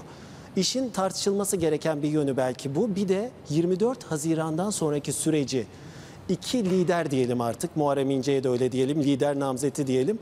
Nasıl yönettiler? Yani uzun süre görüşmediler. O görüşmeleri, yemekleri, aile yemeklerinin ardından yapılan açıklamalar var. Önce Muharrem İnce'nin açıklamaları, sonra Kemal Kılıçdaroğlu'nun açıklamaları. Süreci doğru yönettiklerini düşünüyor musunuz? Şimdi e, ben doğru yönettiler dersem bugüne kadar inşa ettiğim bütün itibarı kaybederim. Yani bu doğru yönetemedikleri net bir şekilde ortada. CHP'lilerin e, CHP'deki sorun liderlik mi yoksa mevcut CHP'nin zihniyeti mi veya yapısı mı sorusuna daha gelemiyoruz biz. Ondan önce bir sorun var. Çünkü o, o daha derin bir tartışma. Daha yüzeysel bir tartışma var. Ve bu Türkiye açısından da iyi olduğunu düşünmüyorum. Çünkü e, ana muhalefet partisinin alternatif olma özelliği e, benim de bu ülkenin vatandaşı olarak demokrasinin yerleşme, yerleşmesi açısından hayati derecede önemli olduğunu düşünüyorum. Yani sadece iktidar partiler değil, iktidar partisini zorlayacak bir ana muhalefet partisinin olmasından bu ülkenin tüm vatandaşları karlı çıkar onu söyleyeyim. Ee, şimdi benim gördüğüm kadarıyla şöyle bir tavır var. Cumhuriyet Halk Partisi'nin e, temsilcileri, yöneticileri e, kendi aralarındaki liderlik yarışı kadar uğraşacaklarına Türkiye'deki sorunlarla doğrudan uğraşsalar bence halk tarafından karşılık bulur diye düşünüyorum. Daha en azından ilgi çeker diye düşünüyorum. Mesela dikkat ediyorum bazıları Cumhuriyet Halk Partisi'nin yani Türkiye'yi yönetmek için mi siz varsınız? Bu soruyu soruyor ister istemez. Bazen de ben Cumhuriyet Halk Partisi seçmene üzülüyorum açıkça söylemek gerekirse. Yani Cumhuriyet Halk Partisi'nin başına geçmek ülkeyi yönetmekten daha önemli hale geliyor gibi bir hal var. E peki bu partiye gönül vermiş insanlar var, kitleler var. Az değil yani. Muharrem İnce'nin, Sayın İnce'nin almış olduğu o yanılmıyorsam herhalde 15-16 milyondu. Ciddi bir oydur. İşte yüzde 30, yüzde 22 e, Cumhuriyet Halk Partisi'nin almış olduğu oy var. E şimdi gelinen sürece baktığımız zaman Cumhuriyet Halk Partisi'nin arasındaki tartışmaya bakalım. Bir gün muhalefetten bir tanesi çıkıyor. Şu ana kadar düşünebiliyor musunuz? Cumhuriyet Halk Partisi'nin ister muhalefet dediğim şey daha doğrusu değişim isteyen grup ve işte bunun öncülüğünü yapanlar. Siz de takip ediyorsunuz gazeteci olarak. Siz yeterli imzanın toplanıp toplanmadığını daha ne Cumhuriyet Halk Partililer biliyor ne siyaseti takip eden olarak bizler Gerçekten biliyoruz. de enteresan bir tartışma oldu. Onu Şimdi enteresan lazım. bir şey daha söyleyeyim. Ya Allah aşkına kaç diyelim bin- 1200 küsür işte biliyorsunuz delegesi var Cumhuriyet Delege Halk. Partisi'nin. Yani 1200 kişilik bir listenin kaç tanesi oy verdi, kaç tanesi vermedi? 630 delege bunun civarında bir ihtiyaç var. Bunun rakamı ortaya çık hani kaç gündür bunun rakamı ortaya çıkmadı. Ve siz kalkacaksınız 56 milyon seçmenin olduğu seç, e, seçim sonucunu takip edeceksiniz. Şöyle Bu bir sıkıntı da şey var ama göster- hocam gösterge. onu da teslim etmek lazım. Tabii ki yani bu imza resleşmesini ayrı bir yere koyalım ama işte bazıları imza veriyor noter kanalıyla imza veriyorlar ve o imzayı geri çektikleri söyleniyor bir yandan Bugün da. Sayın İnce'nin bir açıklama- borsası var sanki Bugün orada. Sayın İnce, şu görüntüyü düşünün. Yani bir Cumhuriyet Halk Partili e, gönül vermiş. Bu partinin peşindekinde bir seçmen, bir Türkiye Cumhuriyeti vatandaşı olarak şunu düşünün.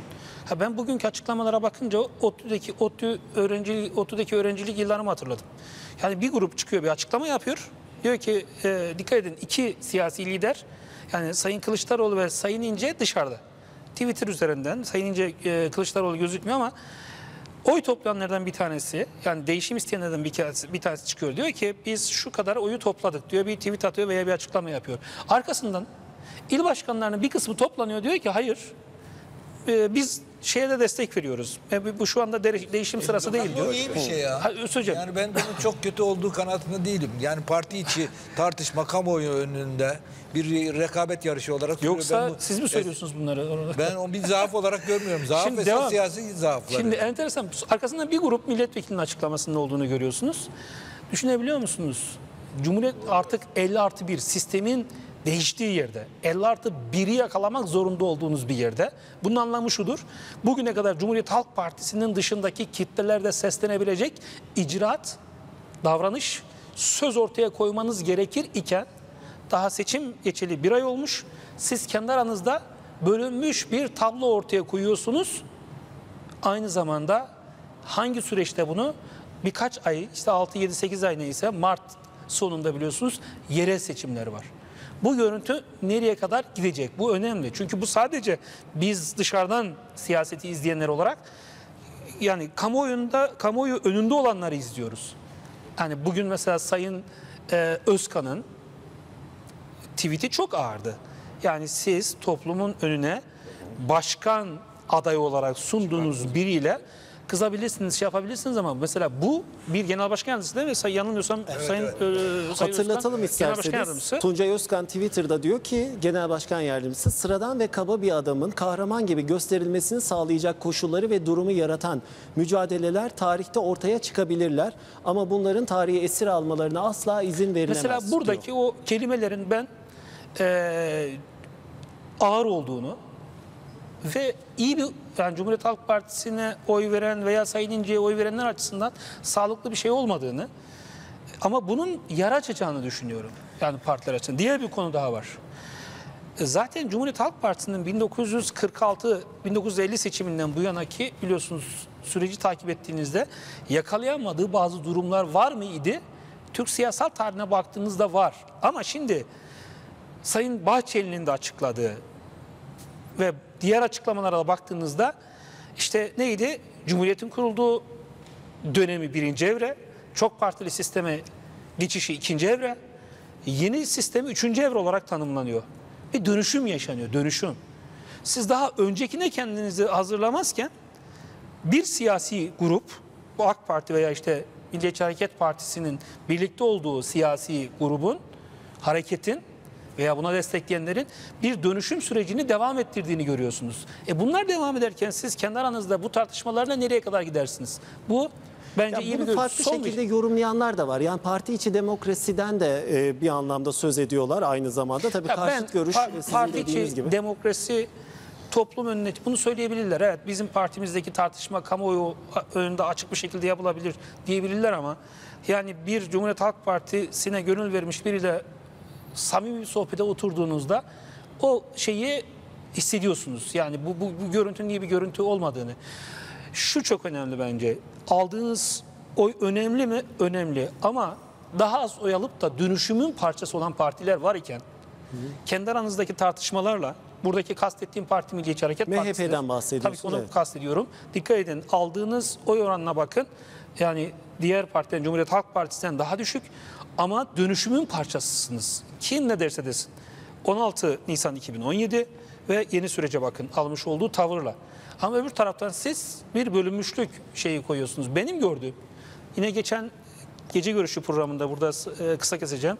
E, Abdülkadir Bey'le yani hatta bir konu çek meselesi gündeme gelmişti.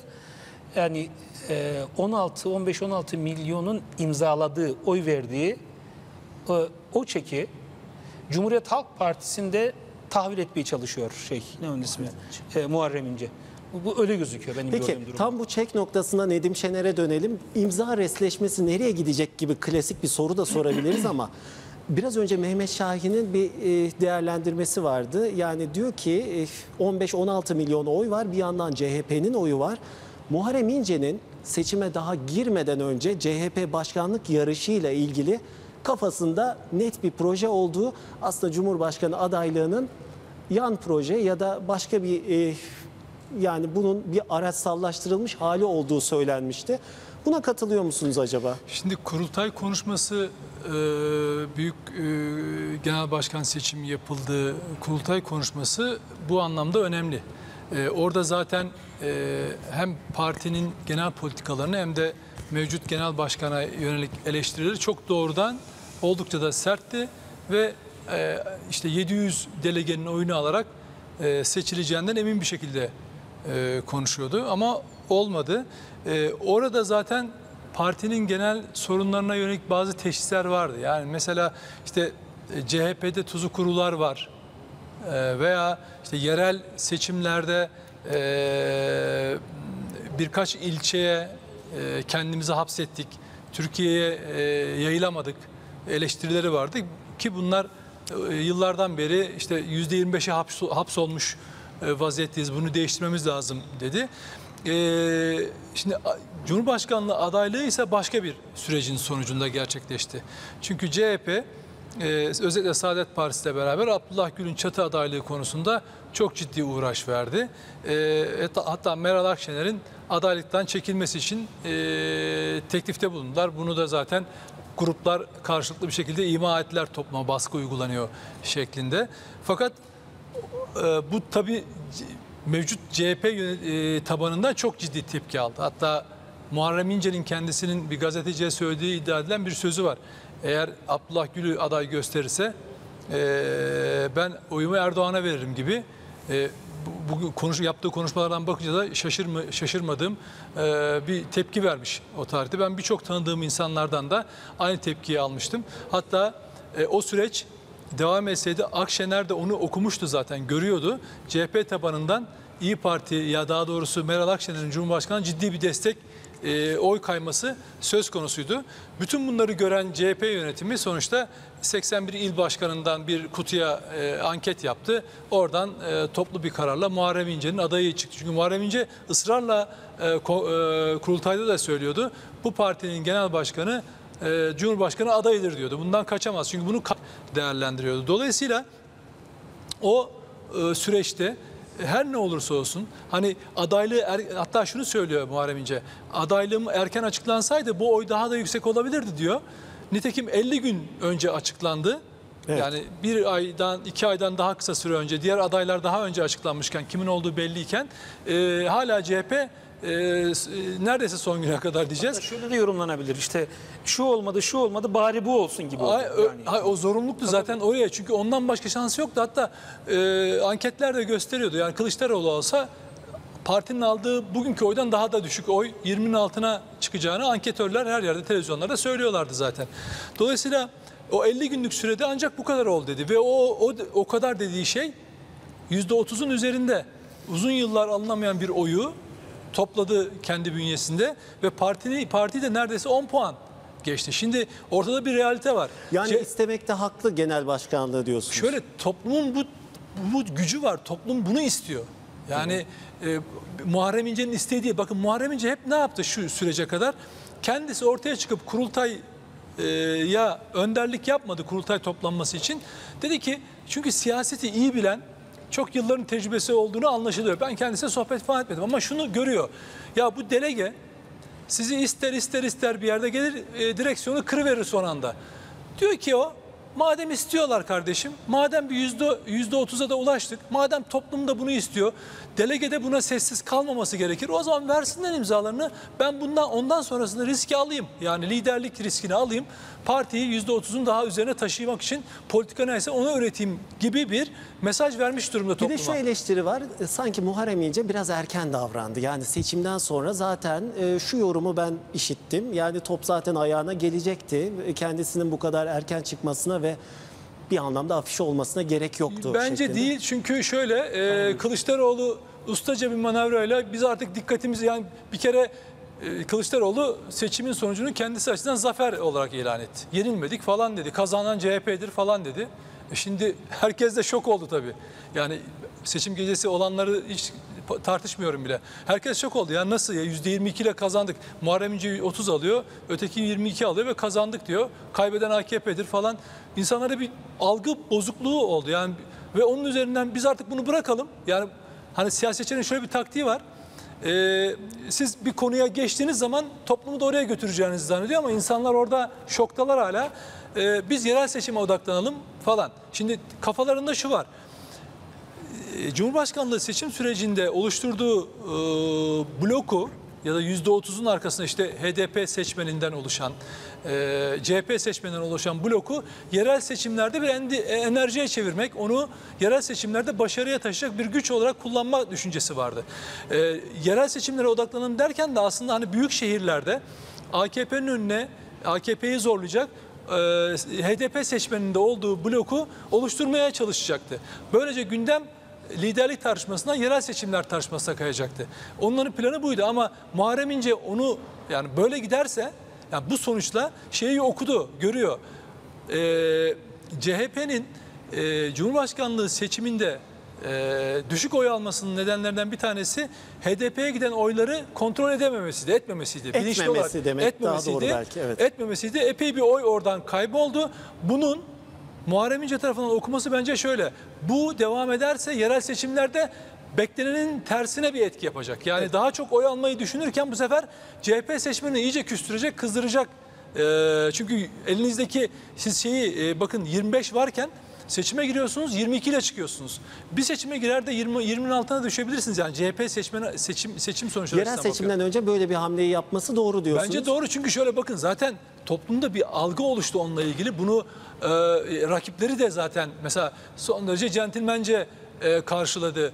E, hatta kit- kendisi bir dedi ki ya insanları niye sokağa çağırmadın derken de son derece sağ, sağduyulu davranıp centilmence ben bunu genelge olarak kabul ediyorum. Bundan sonraki seçime odaklanıyorum dedi. Bir de kurultay da ilginç bir şey söyledi. Yani ikinci seçim iki seçim kaybeden bir daha başkan olmasın dedi. Yani dolayısıyla kendini bir sınava daha tabi tutmuş oldu.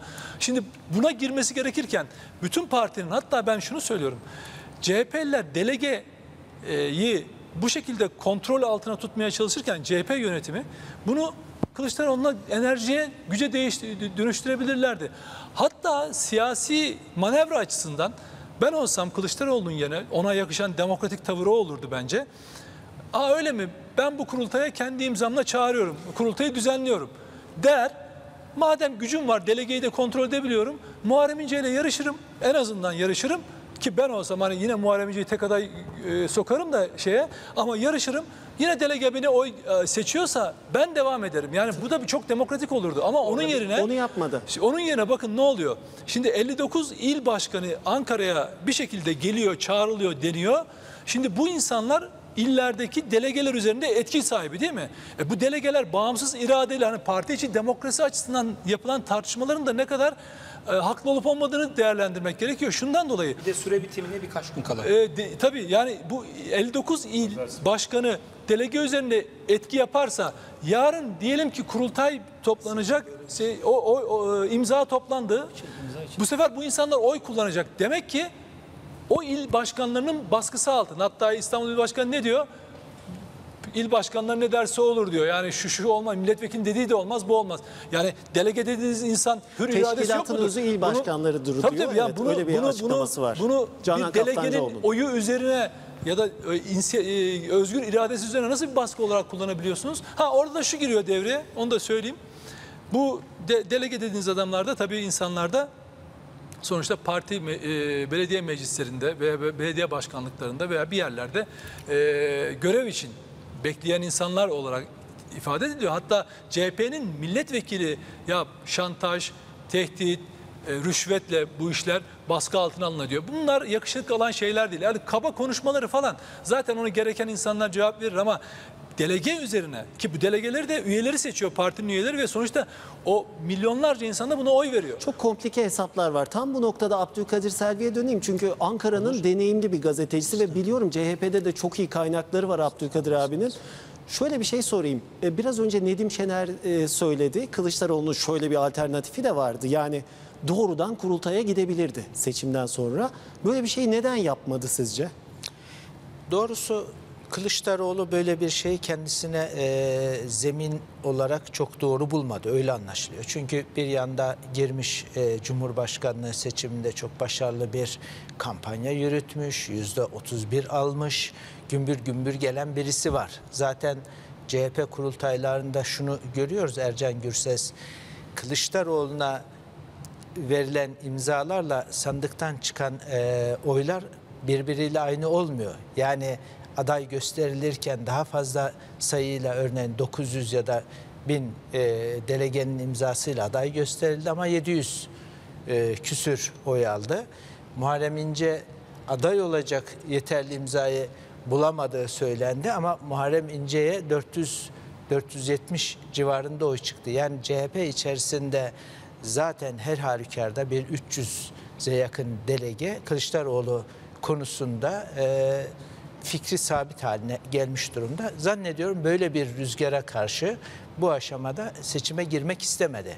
e, Kılıçdaroğlu'nun kendince çok avantajlı bir e, konumda olsaydı bu tartışmayı bitirmek için derhal bir olağanüstü kurultaya giderdi diye düşünüyorum. Evet. Şu noktada biraz önce bir mesaj geldi de muhalif yakın, e, kanada yakın bir isimden geldi İnce kanadına 670 imzaya ulaşıldı. Genel merkeze henüz e, ulaşmadı diye ama artık bence bu imza polemiği Bu farklı bir imza yere polemiği gitti. gerçekten Cumhuriyet Halk Partilileri çok sıktı. Çok anlamını da kaybetti. Elbette ki sayı olarak anlamı var. 635 imza bulunduğunda Genel Başkan olağanüstü kurultayı toplamak zorunda.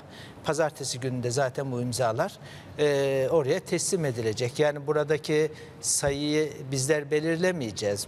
Bu konuda e, gerçek atılan imzalar sonucu tayin edecek ama genel merkezdeki bilgi de 505 Oral 550 çalışlar bir civarında. katkıda bulunacak galiba. Buyurun. Yani tabii hiç konuşmadığımız bir başka problem siyasi partiler kanunu. Evet. Yani bu anayasa değiştirilirken siyasi partiler kanunu da değiştirilecekti.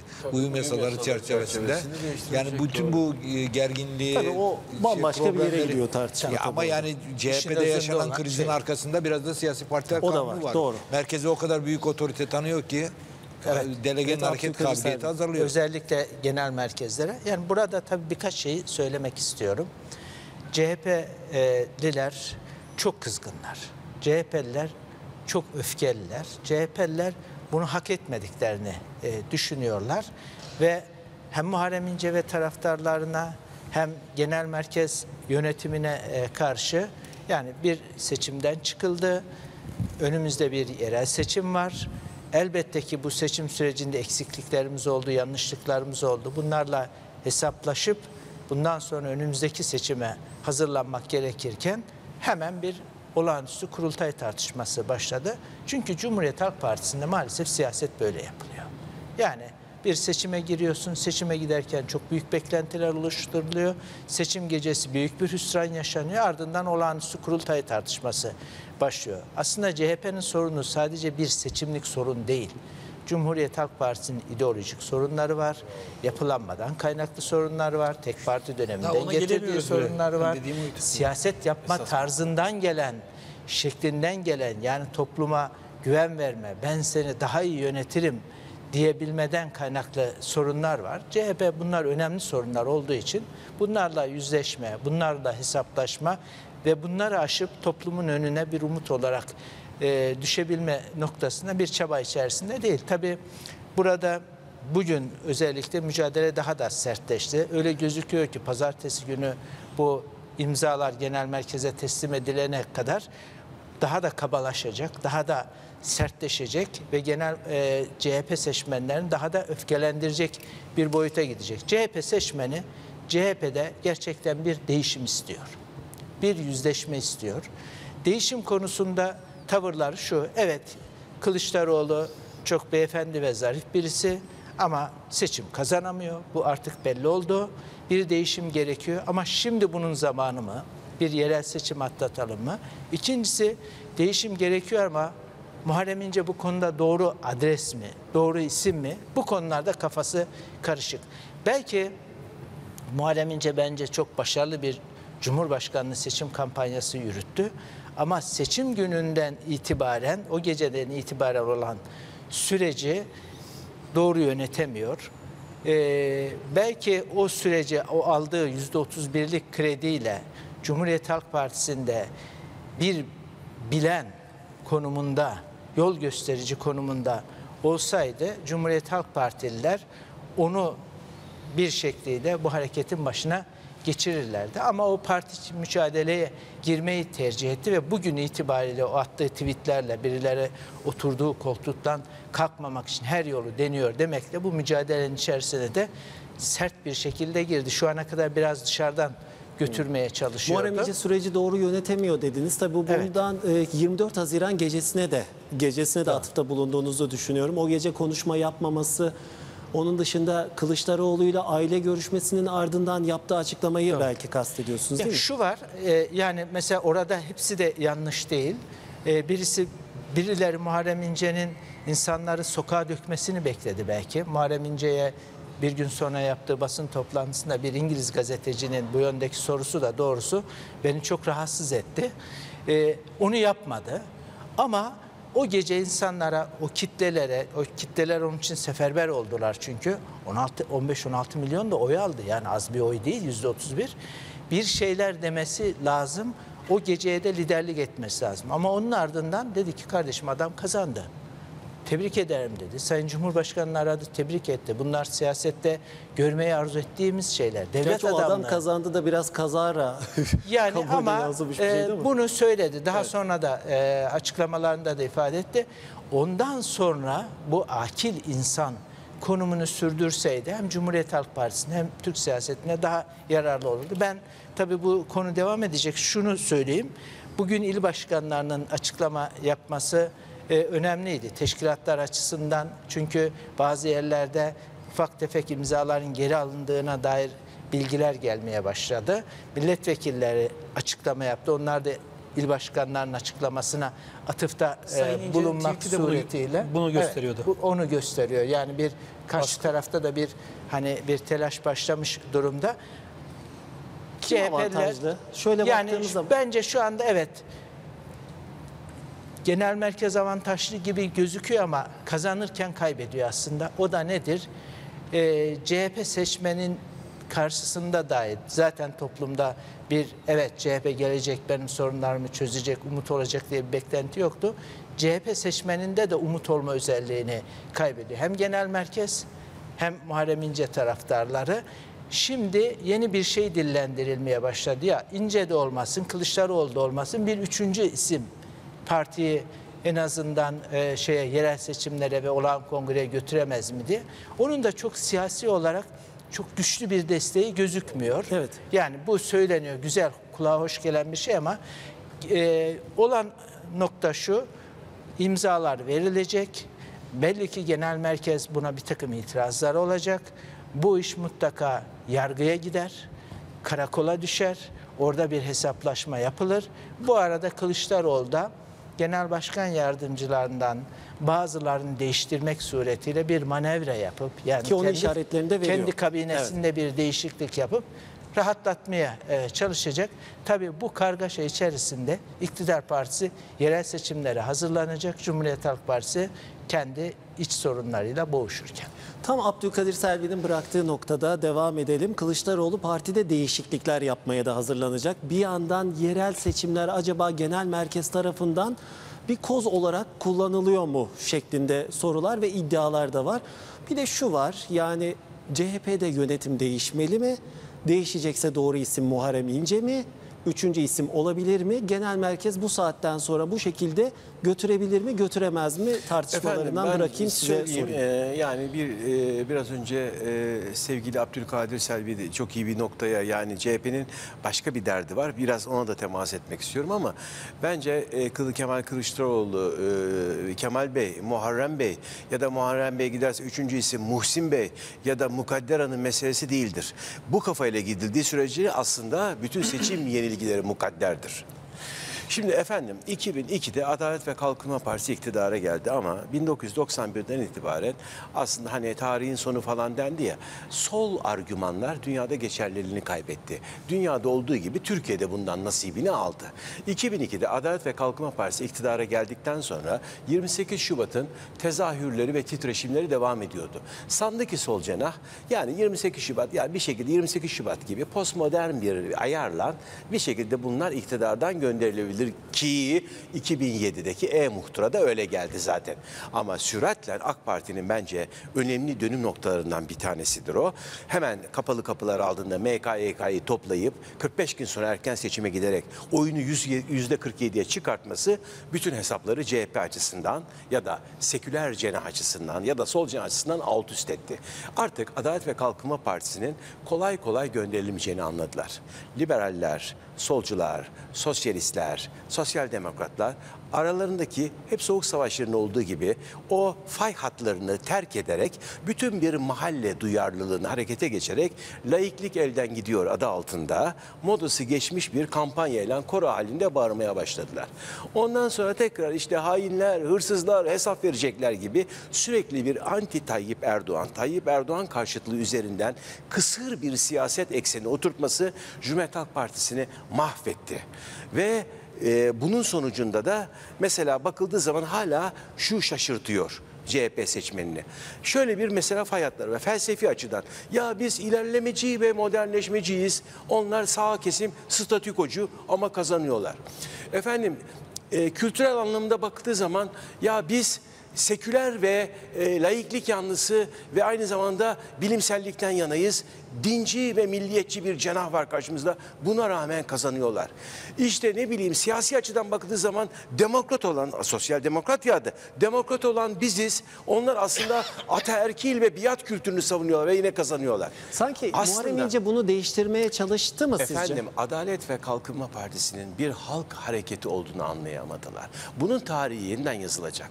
Bunun sosyolojisi yazılmadı da bu yeniden yazılacak. Muharrem bu, bu İnce bir halk hareketi. Bunu okuyor. Muharrem İnce bir miktar fark etti. Evet. Oradan geliyor. Muharrem İnce bir miktar fark etti. Hakkını yemeyelim. Ölü toprağa serpilmiş bir Cumhuriyet Halk Partisi'ni aldı işte 22 biraz sonra 31,5 gibi 10 puanlık bir farka taşıdı. Yeter mi? Yetmez. Yani MHP e, başkanı da aday olsaydı 4 puan alsa sadece Cumhurbaşkanlığı seçimlerinde Sayın Cumhurbaşkanı bugün mesela ikinci tura kalacak. İkinci turda yine kazanacaktı. Yani öteki cenah Millet Cephesi yine her halükarda kaybedecekti zaten.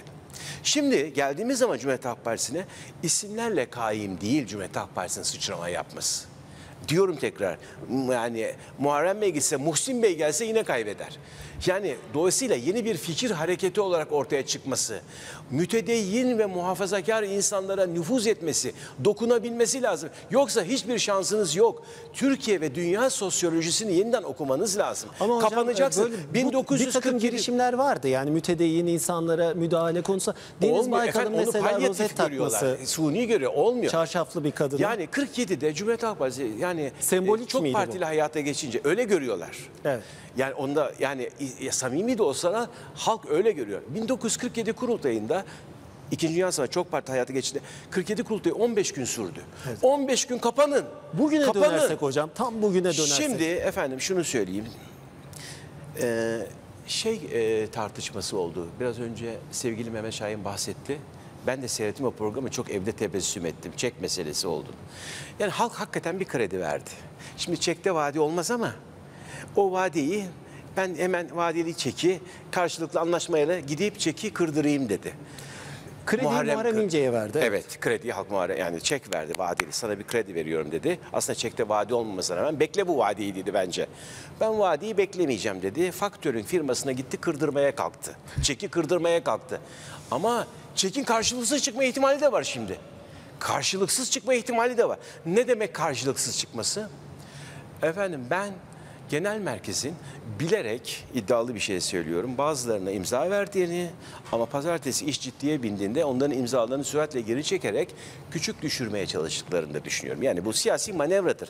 Yani bunu suçlayarak ya da böyle bir küçük görerek ya da ahlaki bir sorgulama yaparak söylemiyorum. Siyasette böyle şey olabilir. Çünkü Türk siyaseti biraz da kısır ayak oyunlarınla kaimdir. Dolayısıyla burada bir geri çekilme hareketi olacağını ve bu kongrenin gerçekleşmeyeceğini düşünüyorum ben. Ama ben mesela neden Muharrem İnce'yi çeki hemen gitti faktörün firmasında kırdırmaya kalktı diyorum. Ben olsam şöyle yapardım. Beklerdim. Evet.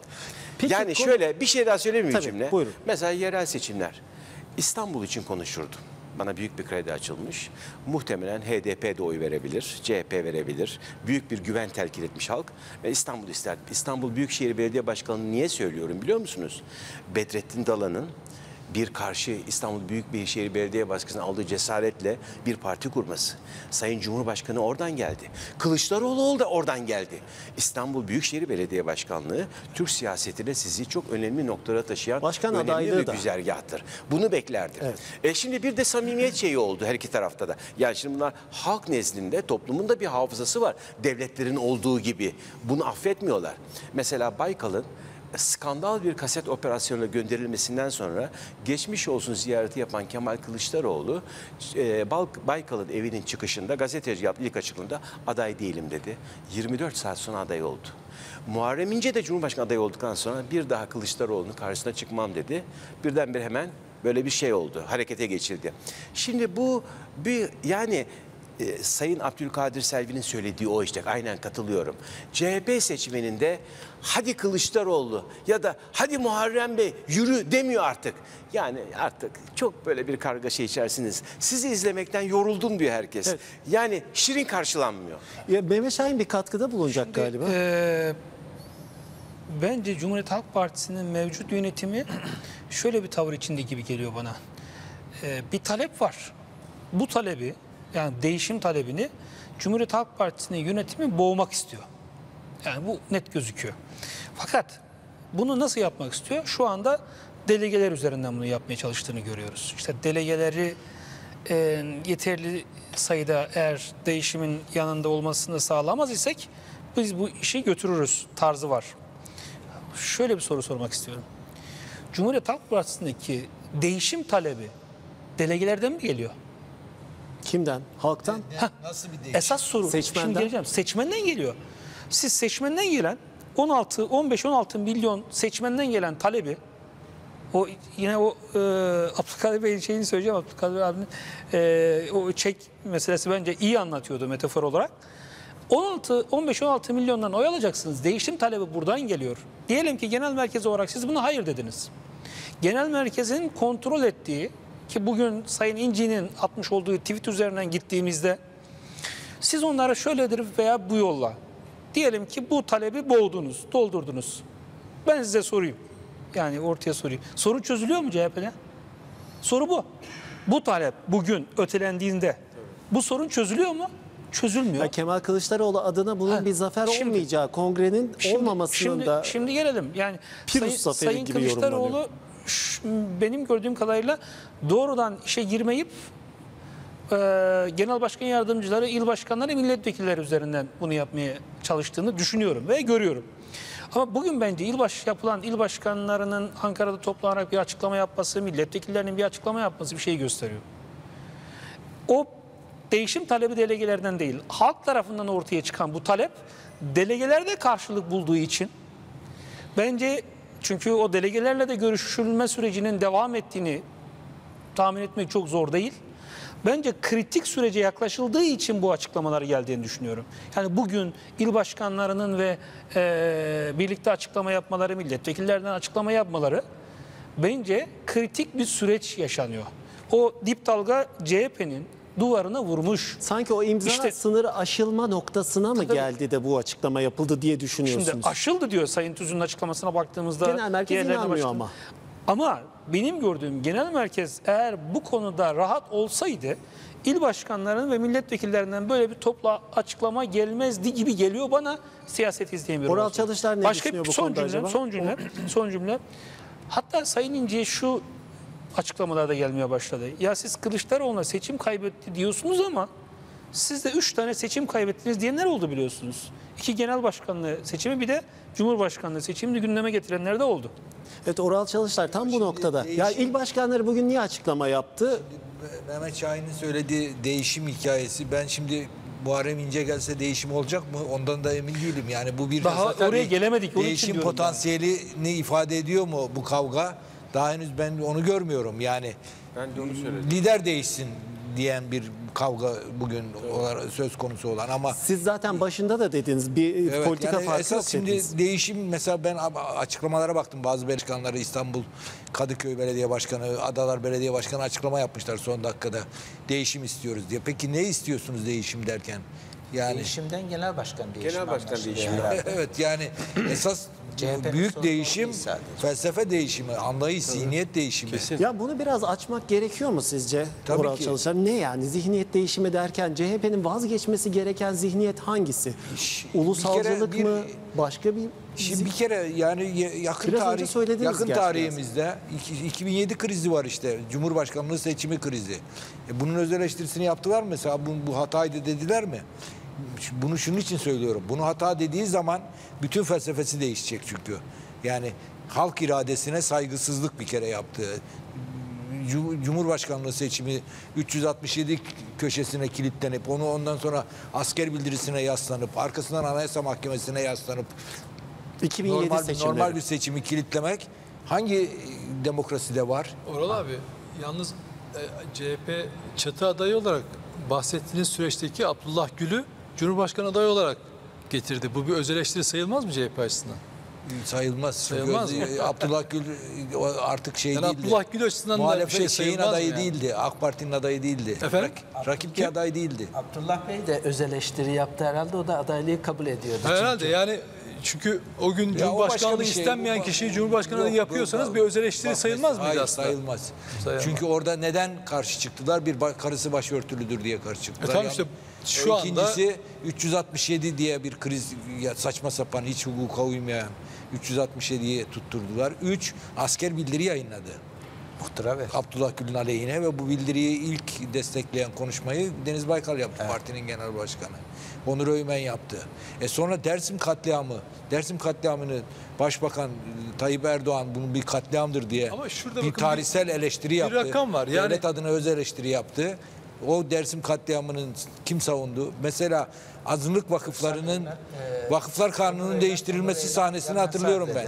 Şey çıktı, Hayati Yazıcı Vakıflar Kanunu'nu öneren bakan da o zaman. Onur Öymen yani akıl almaz kendisine de söyledim yüzüne de. Yani ben yüzüm kızardı o te- tepkiden. Azınlık vakıflarıyla ilgili Türkiye tarihi sorunlu bir tarih. Çok sıkıntı vermişiz insanlara. Onların bir kısmının iade edilmesini sağlayacak bir değişiklik yapıyorsunuz. Bunu Cumhuriyet Halk Partisi en sert bir şeyle yani orada en milliyetçi, en e, radikal sert karşılık vererek karşı çıkıyor. Yani şimdi bu çok yakın tarih bunlar. Bunu neden söylüyorum? Şimdi zihniyet bunları döktüğünüz zaman yeni bir zihniyet inşa edersiniz. Yani Dersim, Dersim için yan hasar denildi meclis kürsüsünden. E, medeniyet dedi, uygarlaştırma sürecidir dedi Dersim için. Ama Nedim Bey'in orada vurguladığı bir konu bence çok çok önemli. Yani eee, Sayın Abdullah Gül'ün Cumhurbaşkanlığı seçim döneminde yaşanmış o- yaşananlar yani yani bu yaşananlar biliyorsunuz yani o ya bir bildiri yayınlanıyor. Ya bu çok çok çok önemli. Yani Türk siyasal ta- muhtıra yani bu bu tür açıklamalarla hükümet gitti tü- geçmiş dönemlerde. Öyle gözüküyor ki yani Cumhuriyet Halk Partisi'ni Sayın Abdullah Gül'ü aday gösterecek çizgiye getiren gelişmeler ne? Bunu siyasi tarih yazacak. Bir bu. Tekrarlamak istiyorum. Sayın Abdullah Gül'ü Cumhuriyet Halk Partisi'nin adayı haline getirecek, gösterme getirecek. Evet. Çatı adayı ama bunu Cumhuriyet Halk Partisi'nin öncülüğünde biliyorsunuz böyle bir şey yürütüldüğü anlaşılıyor. E, Bunu bu hangi gelişmeler bu noktaya getirdi? Bir. İkinci bir soru daha var. Sayın Gül'ü bunların adayı yapacak kadar bu çizgiye getiren ne? Bu da önemli. Evet. Hocam reklama çok az süremiz kaldı. Siz bir katkı O zaman reklamdan sonra söyleyeyim. Ama ben. buyurun söyleyecektiniz. Peki efendim o zaman şöyle söyleyeyim ben. Bir tanesi e, çatı adayı olarak e, sevgili Nedim Şener de söyledi. Abdullah Gül'ü herkes biliyoruz yani temas ettiği için söylüyorum gösterdi. Bir de 2014'te yine halkın yani halkın Cumhurbaşkanı seçmesi olarak iki tane seçildi. Bunda sistem değişti ama 2014'te de halk seçti. Onda da Ekmelettin İhsanoğlu'nu gösterdi. Yani siz öyle bir aday koyuyorsunuz ki şu anda Ekmelettin İhsanoğlu Türkiye'de bir liste yapsanız CHP'ye oy vermeyecek birinci sıradakilerden bir tanesi. Yani bir başka partide artık o. Yani bu CHP'nin aslında hastalığı teşhis ettiğini fakat yani binanın temelinin çürük olduğunu gösteriyor. Fakat binanın orada bir- temeliyle uğraşmıyor. Sürekli dış cepheyi boyayarak dış cepheyi boyuyor sürekli. Bu, bu şekilde bunu Bir atlatabileceğini çabaları zannediyor. var yani. Efendim? Bir çabaları var. Ha. Siz bir şey Fakat- söyleyecektiniz Hocam, Abdülkadir. Şunu bitireyim mi? Yani bu söylediğiniz şey CHP'yi AKP'leştirerek iktidar olmaya götüren bir niyet. Hayır. Yani siz siyasette sadece bir seçenek olmaktan çıkıp alternatif olamıyorsanız Hayır. o zaman böyle Şu- söyle- şeyler Öyle yaparsınız. söylemem. Şöyle söylüyorum. Yani hayır siz için siz suçlamak için söylemedim. Hayır, tabii. Onlar açısından Tabii, tabii, söylüyorum. Tabii tabii. Şimdi şöyle yani CHP baktığı zaman haritaya işte Kırklareli, Edirne, Balıkesir, Çanakkale, İzmir, Kuşadası, Bodrum, Marmaris, Datça değil. Bütün Türkiye şamil bir parti nasıl olacağım? Çok yalın söylüyorum. Bütün Türkiye şamil nasıl parti olabilir? Bunu düşünecek. Şimdi Abdullah Gül'le o çok mühim bir şey. Niye Abdullah Gül de o seviyeye geldi? Evet. Bunun Hocam bir- toparlarsak reklama gideceğiz Tabii, ve sizle devam Tayyip edeceğiz. Erdoğan karşıtlığı üzerinden siyaset edilmesi yani gitsin de kimle giderse gitsin bir de dış politika boyutu var. Onun ayrıca incelenmesi gerekir. Evet. Yani bir yerli milli eksenle bir de bir Anglo-Sakson eksen. Oradan tartışılabilir bu. Şimdi bir reklam arasına bence CHP de geri kalmaz onlardan. Kısa bir reklam arasına gidelim. Reklam arasının ardından e, Mithat Hoca'nın belki söyleyeceği, ilave edeceği şeyler olacak CHP konusunda. Ardından İyi Parti'ye geçeceğiz ve o İyi Parti'de yaşanan gelişmeler tıpkı CHP gibi son günlerde gündemin ön sıralarında bir kurultay toplanacak İyi Parti'de de bunları da konuşacağız kısa bir aranın ardından.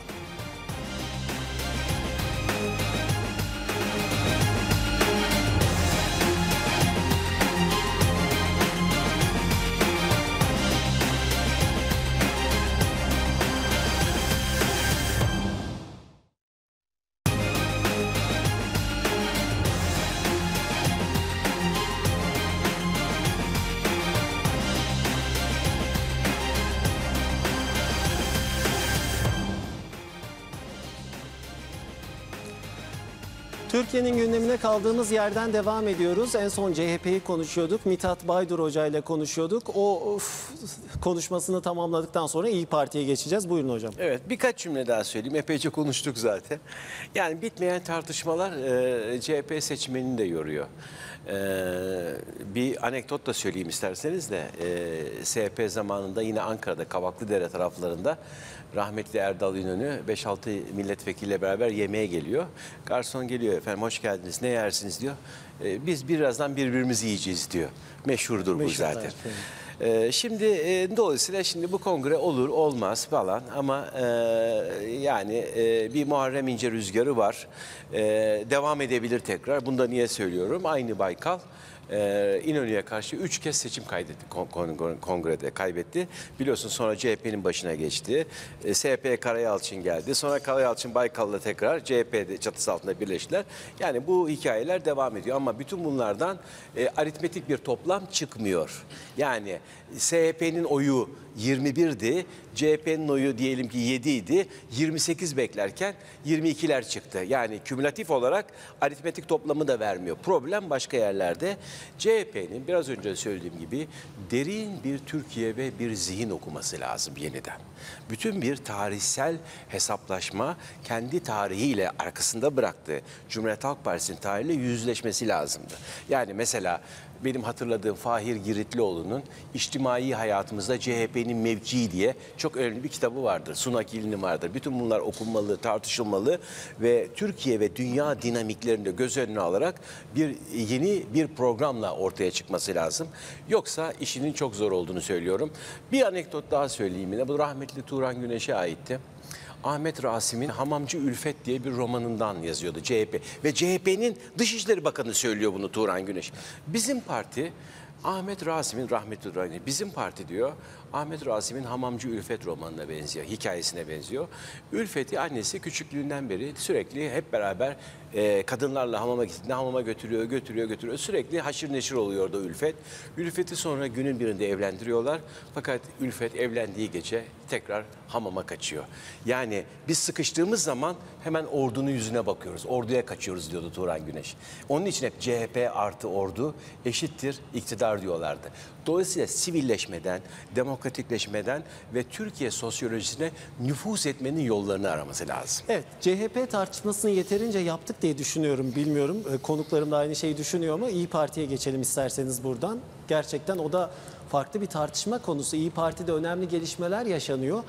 İyi Parti kurultay tarihini belirledi. CHP'deki kurultay tartışması başladığında İyi Parti'de böyle bir tartışma yoktu ama bir Afyon kampı yaşandı ve o kampın ardından yaşananlar Meral Akşener'in olağanüstü kurultayla ilgili değerlendirmesi ve partiyi olağanüstü kurultaya götürmesi, aday olmayacağını açıklaması, aday olmayacağını açıklamasının ardından partililerin onu aday olmaya zorlama girişimleri, Meral Akşener'in kararım kesindir açıklaması bu iş başka bir yere gidecek gibi düşünülüyor. Abdülkadir Selvi'ye bu noktada döneceğim. Çünkü bugün bununla ilgili bir yazısı var Hürriyet gazetesinde.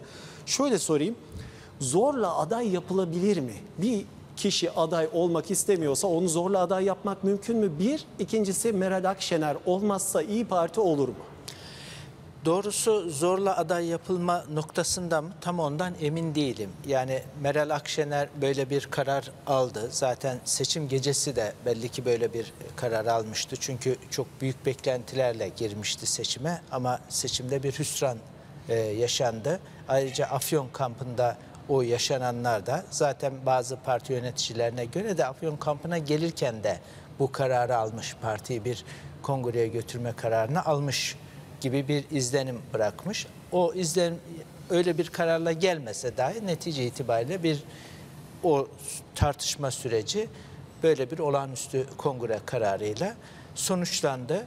Ee, şu olabilir yani Meral Akşener iki açıklamasında da kendisine 72 saat süre verilmesini istemiş ama yet- 72 saati beklemeden de bir açıklama yapmıştı. Aday olmayacağım dedi o konuda net ama partide şu ana kadar Meral Akşener dışında bir isim çıkmadı ve parti evet sen aday olmayacaksın ama biz senden başka aday çıkarmayacağız. Seni aday olarak çıkaracağız ve partiyi de senin istediğin şekliyle dizayn edeceğiz. Yani partinin de anahtarını Meral Akşener'e vermek üzere böyle bir strateji e, izliyor. Şundan emin değilim. Meral Hanım evet ben partiyi bu aşamada yine ortada bırakamam. Çünkü ben bu partinin sadece lideri değilim. Aynı zamanda bir ana figürü de var orada biliyorsunuz e, kadın olması nedeniyle. E, ben yeniden bu partide yükü omuzda, omuzlarım diyebilir. Hatta bir adım daha ileri gidip Meral Akşener bu tavrıyla bir manevra yapıyor. Yani partide bir takım zorlukları var. Partinin yapılandırmasından kaynaklanan sıkıntıları oldu. Ama o dönem e, beraber yola çıktı arkadaşlar. MHP'de mücadele başlattı arkadaşlarını bir takım görevlere getirmek durumundaydı. Onları biraz daha geriletmek, bastırmak için ve parti içerisinde seçim sonuçlarından dolayı kendisine yönelik itirazları e, kırmak için bu manevrayı yapıyor diyenler de e, var. Manevra o nedenle olduğuna inanıyor musunuz? ben e, tabii bu konuda e, kararı verecek olan Meral Hanım'dır. Yani Meral Hanım tekrar genel başkanlığa o kongre salonundan seçilerek çıkarsa bu süreçte böyle bir manevra yapmış diyebiliriz. Ama kararında kesin olarak e, ben girmem bu işe derse benden başka bir isimle yola devam edin derse bir blöf yapmadığı ortaya çıkar. Türkiye'nin gündemi programında iç siyaset konuşmaya devam edeceğiz ama kısa bir reklam arasının ardından.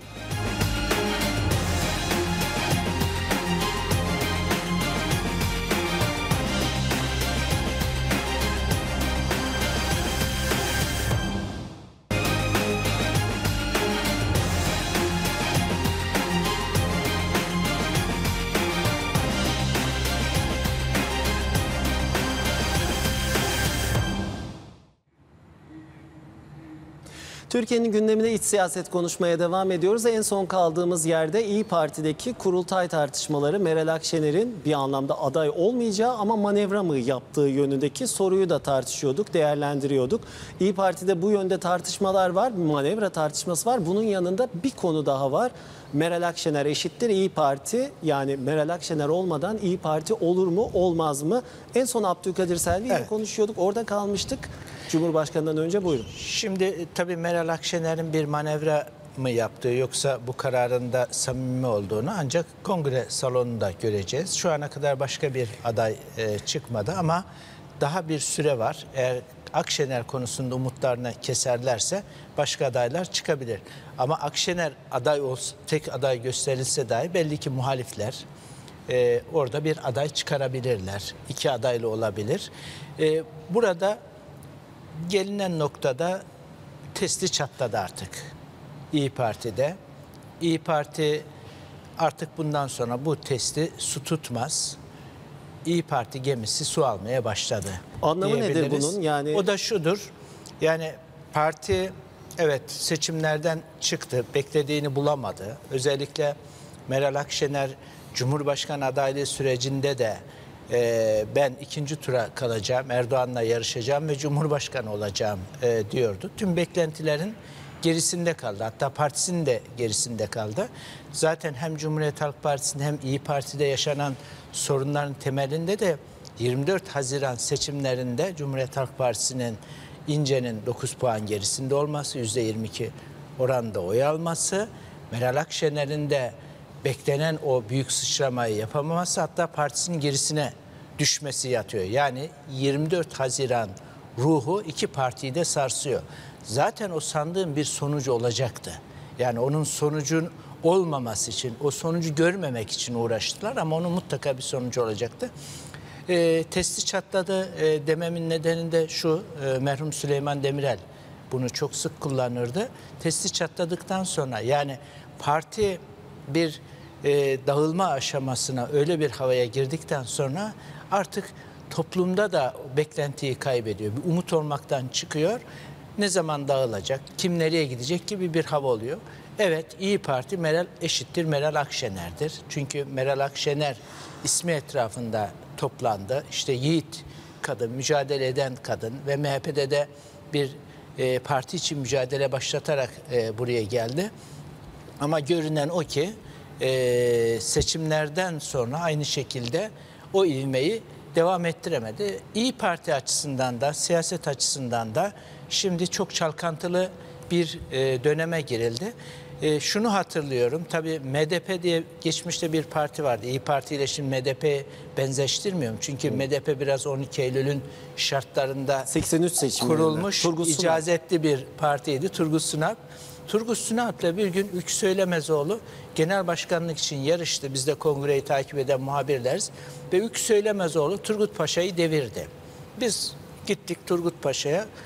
Dedik ki bundan sonra ne olacak? Ee, dedi ki kendisiyle ilgili bir benzetme yaptı. Onu kullanmayacağım ama dedi ki ben askerim. Kurşunun yarası sona yakar.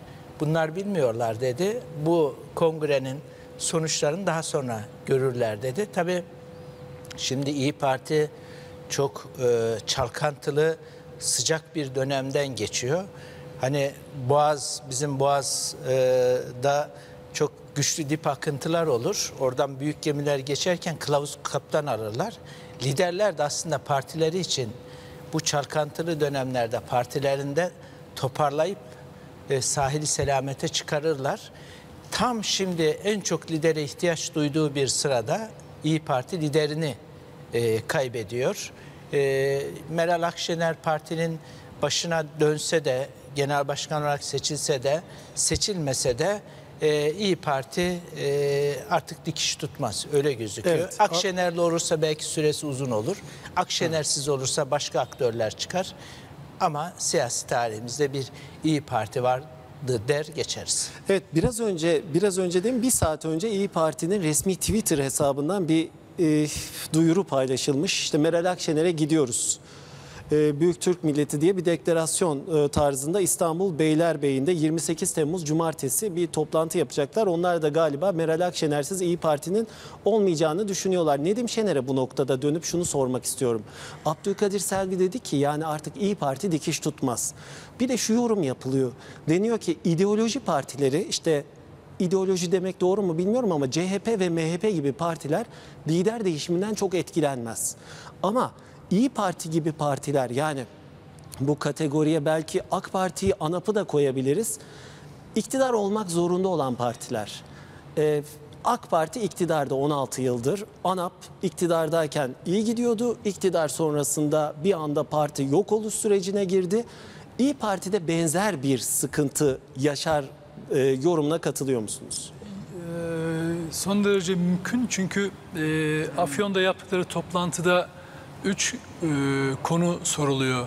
Seçim sürecinde yapılan hatalar, partinin vizyonu ve gelecekte neler yapmalı şeklinde. Bunlar değişik formülasyonları var bu soruların. Üç temel eksende zaten tartışmalar yaşanıyor. Ee, işte seçim sürecinde işte CHP'nin içinde bulunduğu ittifakta yer almanın hatalı boyutları, hata olduğuna dair görüşler, partinin bir vizyonun olmayışı kendilerine göre yani herkes kendine göre yani parti nasıl bir vizyona sahip olmalı işte kimi e, merkez sağ, kimi milliyetçi sağ falan gibi bir takım öneriler de gelmiş. Bu tartışmalar ekseninde yürüyor. Dolayısıyla bu tartışma yerinde zaten MHP'den ayrılan bir e, parti ve partililer aynı zamanda e, CHP'den e, kızgın olup oraya oy veren bazı seçmenler oldu. E, temel olarak MHP tabanından da seçmenini oraya geçirmiş oldu. Dolayısıyla orada da milliyetçilikten olabildiği kadar e, bir mesafe koymaya çalıştılar. Hatta bu arada Selahattin Demirtaş ben, kişi benzeri e, konulara e, biraz yakın duran hatta bir takım tweetlerle e, tweetler atarak e, ne diyelim mesafe koymamış olması bile o e, e, çalıştayda eleştirilen konulardan bir tanesi. Yani biz onlardan uzak durmalıydık. Hani CHP'den uzak durmalıydık ama HDP meselesinde de mesafeli olmalıydık diye bir takım iz- isimler Eleştirilen Kürt Siyasal Hareketi diye bir tanımlaması vardı. Evet öyle bir buna benzer tanımların e, partiye zarar verdiğini e, görüyor. Çünkü e, o merkeze oturmak istiyor. Yani CHP de aslında merkeze otur yani merkez sağ e, seçmen. Çünkü Türkiye'deki seçmen profili bu zaten. %60-65 civarında e, kilit olan e, dağılsa da e, ama bir yerde bütünleşebilen e, bir seçmen kitlesi var. Dolayısıyla e, servis orada haklı. E, parti henüz daha orada yol kararını vermiş değil. Ee, o yüzden de o arayış bence daha sürecek. Onun yerine e, bir Meral Akşener e, figürü üzerinden hani yapıştırıcı olarak tutucu e, partiyi bir yerde tutan isim olarak isim üzerinden gitmek istiyorlar. Ama orada da henüz daha net karar verilmiş değil. O yüzden yine konuşmanın başında da vardı. Parti hatta e, İyi Parti yöneticilerinin işte ne derseniz onu yapacağız. Parti içindeki yönetim e, e, kararları alacaksınız alın, alacağı yönünde e, Meral Akşener'e bir takım e, önerilerde bulunmuş olması e, aslında bu olayın e, şöyle bir yönünü gösteriyor. Yani Akşener bütün imkanları zorlayarak o parti içinde kendine karşı yönelen muhalif sesleri bir şekilde bertaraf edecektir bu süreçte. Ben her ne olursa olsun yani ya artık şunu bazı şeyler olmadan inanamıyorsunuz. Yani Ak- Ak- e, Meral Akşener ısrarla ben aday olmayacağım diye iki defa üst üste söylemesine rağmen ama öyle bir durum var ki ortada e, bir yandan da e, parti tabanını, parti örgütünü mobilize eden, Akşener'e doğru yönlendiren bir parti yönetim şeyi var, çalışması var. Oysa belli bir dünya görüşü ve ideolojiye oturmuş bir partinin programıyla zaten var olması gerekiyor. Kişilerle değil. Allah gecinden versin bir lidere herhangi bir liderde bir şey olabilir. Ama partinin e, temeli ve ideolojisi sağlamsa e, orada ayakta durur, o parti de durur. Dolayısıyla pa- seçilen e, parti de ya da milletvekilleri de veyahut da parti örgütte bunun Akşener'siz olmayacağını çok net görüyorlar bana Evet. göre. Şu da enteresan. Nedim Şener biraz önce ona işaret etti. Partideki muhalifler yani 7 aylık e, Muhalif demeyelim de kızgınlar, tepkililer Kızgınlar. şöyle yani. Yusuf Alaçoğlu önderliği Alaçoğlu'nun yü- yürüttüğü bir e, şey var, bir tepki var. Mesela Ergenekon e, sanıkları var. E, Ergenekon balyoz davasında kumpas sanığı olan kişiler. E, Ali Aydın Ali Paşa, Türkşen var. Görük Ali Paşa de- de- de- kişi e, mesela ne yaptı? İşte bizi bir vitrin süsü olarak kullandılar, dolgu malzemesi olarak kullandılar diye hem bütün partideki görevlerinden ki kurucularından bir tanesi. Yine Fatih Er Yılmaz, eski bir emniyetçi 15 Temmuz gazisi, Ergenekon'da e, tanıyoruz o operasyonlarda e, mağdur olmuş bir kişi. O da e, istifa etti partiden. E, başka bir süreçte o parti içinde o çalıştay sırasında yaşanan bir olaydan dolayı. Ama genel sorunları o da çok iyi gözlemleyen, gören birisi. Dolayısıyla e, o orada da o partiye damgasını vuramadı o yönlü bir açılım. Onlar bir reklam filminin figürleri olarak kaldı. Ali, Ali Paşa'nın söylediği gibi bir dolgu malzemesi olarak kaldı. Dolayısıyla e, sadece Akşener üzerine e, olan bir de tabii şöyle bir şey var. E, şimdi 42 milletvekili var. Bunların yönetim süreçleri var. Ee, partiye bundan sonraki süreçte yani şu andaki aktifi hani işletme diliyle söyleyelim aktifi varlığı bu milletvekilleri hep onun üzerinden yürüyecek. Bundan sonraki siyasi e, gelişmelerde söz sahibi olup olmama bu milletvekillerinin yönetim şekliyle çok ilgili bir şey olacak. E, dolayısıyla ben Akşener'in kolay kolay e, parti başından ayrılacağını düşünmüyorum. Ta ki son güne kadar. Olursa dediğim gibi e, parti zaten e, Selin dediği gibi birçok şeye ayrılabilir. Profesör Mehmet Şahin'e dönelim. Burada tam e, Nedim Şener Akşener'in partinin başından kolay kolay ayrılmayacağı yönündeki Yani düşüncesi. gerekliliği çok vurgulanıyor. Evet. Oradan dolayı bunu söyleyebiliyoruz. Abdülkadir Selvi de diyor ki zaten Manevra. Parti eşittir Akşener. Yani dolayısıyla böyle bir görüş de ortaya çıkıyor. İyi Parti Akşener'le devam edecek her halükarda ve daha güçlü bir Akşener'le devam edecek diyen de var. İyi Parti dikiş tutturamaz diyen de var. Bundan sonrası için ne olur? Verileri e, İyi Parti'nin gelmiş olduğu veya şu anki tartışmaya değerlendirirken İyi Parti benzeri çıkışların e, Türk siyasal hayatındaki yerine bakarak yorum yapmanın doğru olduğunu düşünüyorum. E, şimdi merkeze oynayan partiler iktidarı sever. Yani merkeze oynadığınızda eğer iktidar tek başına iktidar AK Parti örneğinde olduğu gibi veya iktidar ortağı olamadı iseniz e, tutunmanız zor oluyor. Çünkü ideolojik bir e, katı ideolojik veya belli bir e, şeyi paylaşmıyorsanız, ortak bir noktada buluşmayıp merkeze oynayan bir tavırla hareket ediyorsanız mutlaka iktidar ve iktidarın bir tarafına tutmanız gerekiyor. Şimdi böyle bir durum var mı? Yok. Şimdi bir ben sorun yaşandığını, bir tavır sorunu yaşandığını düşünüyorum. Çünkü İyi Parti ortaya çıkmadan önce Sayın Akşener başta olmak üzere arkadaşları Milliyetçi Hareket Partisi'ni biliyorsunuz. Yani başına geçme, onu yani bir kongreye götürme ve e, MHP'nin içinde var olma, MHP'yi bir yere taşıma neyse o. E, politikası güttüler.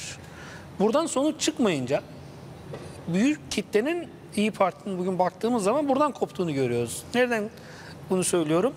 Hem bugün kurucular kuruluna baktığınızda ağırlıklı olarak ilk kurulduğunda hem de ilçe il teşkilatlarına baktığınızda bunu rahatlıkla görebiliyorsunuz. Niye anlattım bunu? Siz oradan geliyorsunuz ama bu aynı zamanda neyi hesaplıyorduk seçimden önce? büyük bir kitle koptu. Milliyetçi Hareket Partisi'nin boşalıp boşalmayacağı tartışılıyordu. E, seçim sonucu ortaya çıktı. Peki İyi Parti'den gelen büyük o kitleye baktığınızda Milliyetçi Hareket Partisi'nin olduğu alanı boşalttı mı? Hayır. Milliyetçi Hareket Partisi'nin %10'un üzerinde yani şu andaki oyunu %11.1 Ama deniyor ki o oyda zaten AK Parti'den aldı Milliyetçi Hareket Partisi. AK Parti seçmeninden aldı. İyi Parti oyunun bir kısmını zaten MHP'den alıyordu. AK Parti'den de aldı. CHP'den ama daha fazla şöyle bir şey var. Milliyetçi Hareket Partisi'nin düşüncesini paylaşan e, yüzde 11.1 bir kitle var. Evet. Orayı boşaltamadınız. Bu önemli. İki, geldiğiniz yeri doldurdunuz mu? Geldiğiniz yer neresi?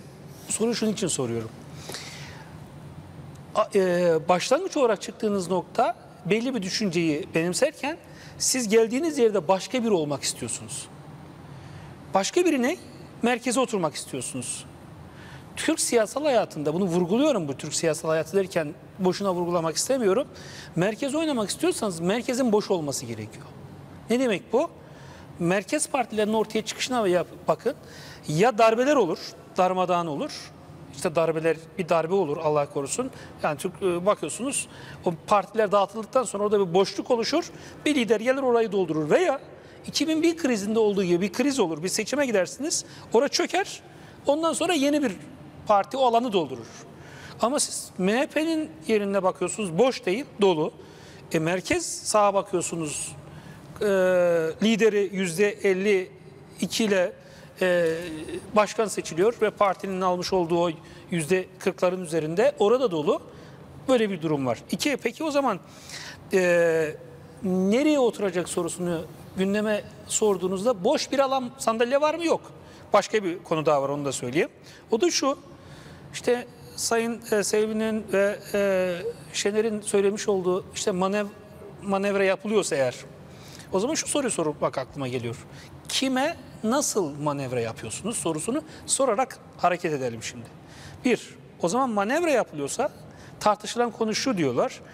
MHP ağırlıklı teşkilatların bir anlamda dışarıda bırakılarak merkez yapıya oturtulması. Çünkü partinin içinde MHP çizgisinden gelen geniş bir kitle var mı? Var. Bu önce tartışıldı mı? Unutmayalım. MHP'den ayrıldıktan sonraki geldiklerinde İyi Parti'yi kurduklarında bir tanımlamaya gitmek istediler. Mesela AK Parti geldiğinde muhafazakar demokrat tabirini kullandı. Biz ne diyebiliriz dediklerinde yanılmıyorsam Ümit Hoca'nın söylediği milli merkez tanımlaması falan vardı. O da biliyorsunuz oturdu oturmadı. Ondan sonra tartışma bitti. Onun için burada e, İyi Parti'nin nereye oturmak istediği bence çok çok önemli. Bunu e, buna bir cevap e, daha doğrusu kimlik sorusunda bir cevap vermeleri gerekiyor. Peki manevra ise eğer biz bunu kongre tarihi belli oldu göreceğiz. Milliyetçi Hareket Partisi'nden gelen geniş kitleyi bir tarafa bırakarak merkez sağı savunduğunu söyleyen kitleler bu nedir işte eski DYP'lilerdir, ANAP'lardır bilmem işte ne bileyim AK Parti'den bazı küskünlerdir falan bunlarla bir araya geldiğinizde bu defa sizi lider olarak ortaya çıkartan, destekleyen e, MHP tarafından gelenlerin büyük bir hayal kırıklığıyla bırakacaksınız o kitleyi. Bu defa bu kitle bir tepki verecek. Bu yavaş yavaş gelmeye başladı. İşte istifalara baktığınız zaman bunu görüyorsunuz.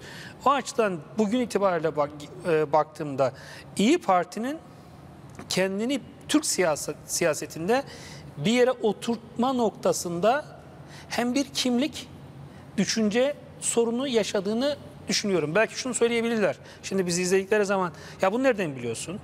Ya bizim partimizi biz daha iyi biliyoruz yorumları olabilir. Ama biz de bir siyaset bilimci, bir siyaseti izleyenler olarak Türk siyasetinin her parçası konusunda konuşma hakkına sahibiz. Bunu da doğal karşılamaları lazım diye düşünüyorum. O zaman bunun böyle olmadığını yeni kongre süreciyle ortaya koymaları lazım. Diyor ki şimdi Sayın Genel Başkan e, Akşener ben aday olmayacağım. İki oldu açıklaması yanılmıyorsam. Bir e, bizim bildiğimiz. Hani e, Abdülkadir abinin söylediği o 24 tweet attı. Temmuz'u de- söylemiyorum. Evet bir, bir de e, önceki- Afyon'daki Kararı durum. kesin diye bir tweet attı sonradan. Evet arkasından dün ve dün, Dün, galiba evet. dün de e, kararım kesindir diye iki defa siz siyasetin dışında olacağınızı ve aday olmayacağınızı söylüyorsunuz ama parti yöneticileri diyor ki biz milletvekillerimizle Evet, şu anda da ekrana geliyor zaten o tweet. Evet, milletvekillerimizle teşkilatımızla bizim B, B ve C planlarımız yoktur biz böyle devam edeceğiz. Peki seçmen soruyu sormaz mı? Siyaset yapmama noktasında iki defa kamuoyuna öncelerinin diğerlerini kendi kapalı kapılar ardındaki tartışmayı bilmiyoruz biz iki açıklamayı biliyoruz. Peki bu açıklamaya rağmen siz siyaset yapmaya kalktığınızda kamuoyu ya, si- istemeyerek siyaset yapılmanın nasıl sonuç vereceğini göz önünde bulundurmaz mı? Böyle bir durum da var. Bence onu da göz önünde bulundurmak lazım. Manev, manevra ise son sorum kime Evet. ve neye karşı? Tam bu noktada Oral Çalışlar'a manevra ise kime ve neye diye sordu Profesör Mehmet Şahin. Ben de bir soru ilave edeyim buna. Meral Akşener bırakıyor mu? Manevra mı sorusuna ilaveten e, İyi Parti'nin dağılma riski var mı? Yani şimdi tabii bir genel siyasi tabloyu Türkiye'de koyup onun neresindeydi? Ya İyi Parti neresinden girmek istedi siyaset sahnesine? Şimdi Türkiye aslında 2015'e kadar e, MHP ile AK Parti'nin zıtlaştığı bir dönemden geçti. O dönem daha çok çözüm süreci, Avrupa Birliği süreci, demokratikleşme süreci, bütün bu süreçlerde MHP karşı taraftaydı CHP ile birlikte. Ne zamandan dö- dö- dönüşme başladı? 2015'ten itibaren başladı. 2015'ten itibaren MHP ile yakınlaşan yeni bir iktidar bloğu çıktı. Şimdi bu o dönemde yani 2015'e kadarki dönemde toplumsal bir başka tablo vardı. Bu tablo neydi? Mesela MHP'nin seçim kazandığı iller ve bölgeler kı- kıyı kasabalarına doğru kaymıştı. Adana, Mersin gibi çok büyük iki sahil ili MHP'li belediyeler tarafından kazanıldı. Yani hala MHP'li belediye başkanları var orada. Halbuki MHP esas olarak bir Orta Anadolu akımı olarak çıkmıştı başlangıçta ve daha çok gücü Orta Anadolu'da. Orta Anadolu'yu AK Parti aldı ve MHP şeye doğru sürüldü kıyıya doğru. Bu 2015'e kadar böyle devam etti. Sonra yerli ve milli akımı çıktı. Yerli ve milli akımı e, daha otoriter bir şekilde Türkiye'yi yönetecek yeni bir kültür ve yeni bir siyaset tarzı şeklinde tartışılmaya başlandı. Şimdi o zaman e, gördük ki bu aynı zamanda bir toplumda seçmen kitlesinde de bir değişiklik yapıyor. Seçmen kitlesinde de bir oynama yapıyor. Mesela 2018-24 Haziran seçimlerine baktığımızda MHP'ye MHP'nin AK Parti'ye kaptırdığı Orta Anadolu illerinin çoğunda MHP oyları yeniden AK Parti'den almış ve artmış oylar.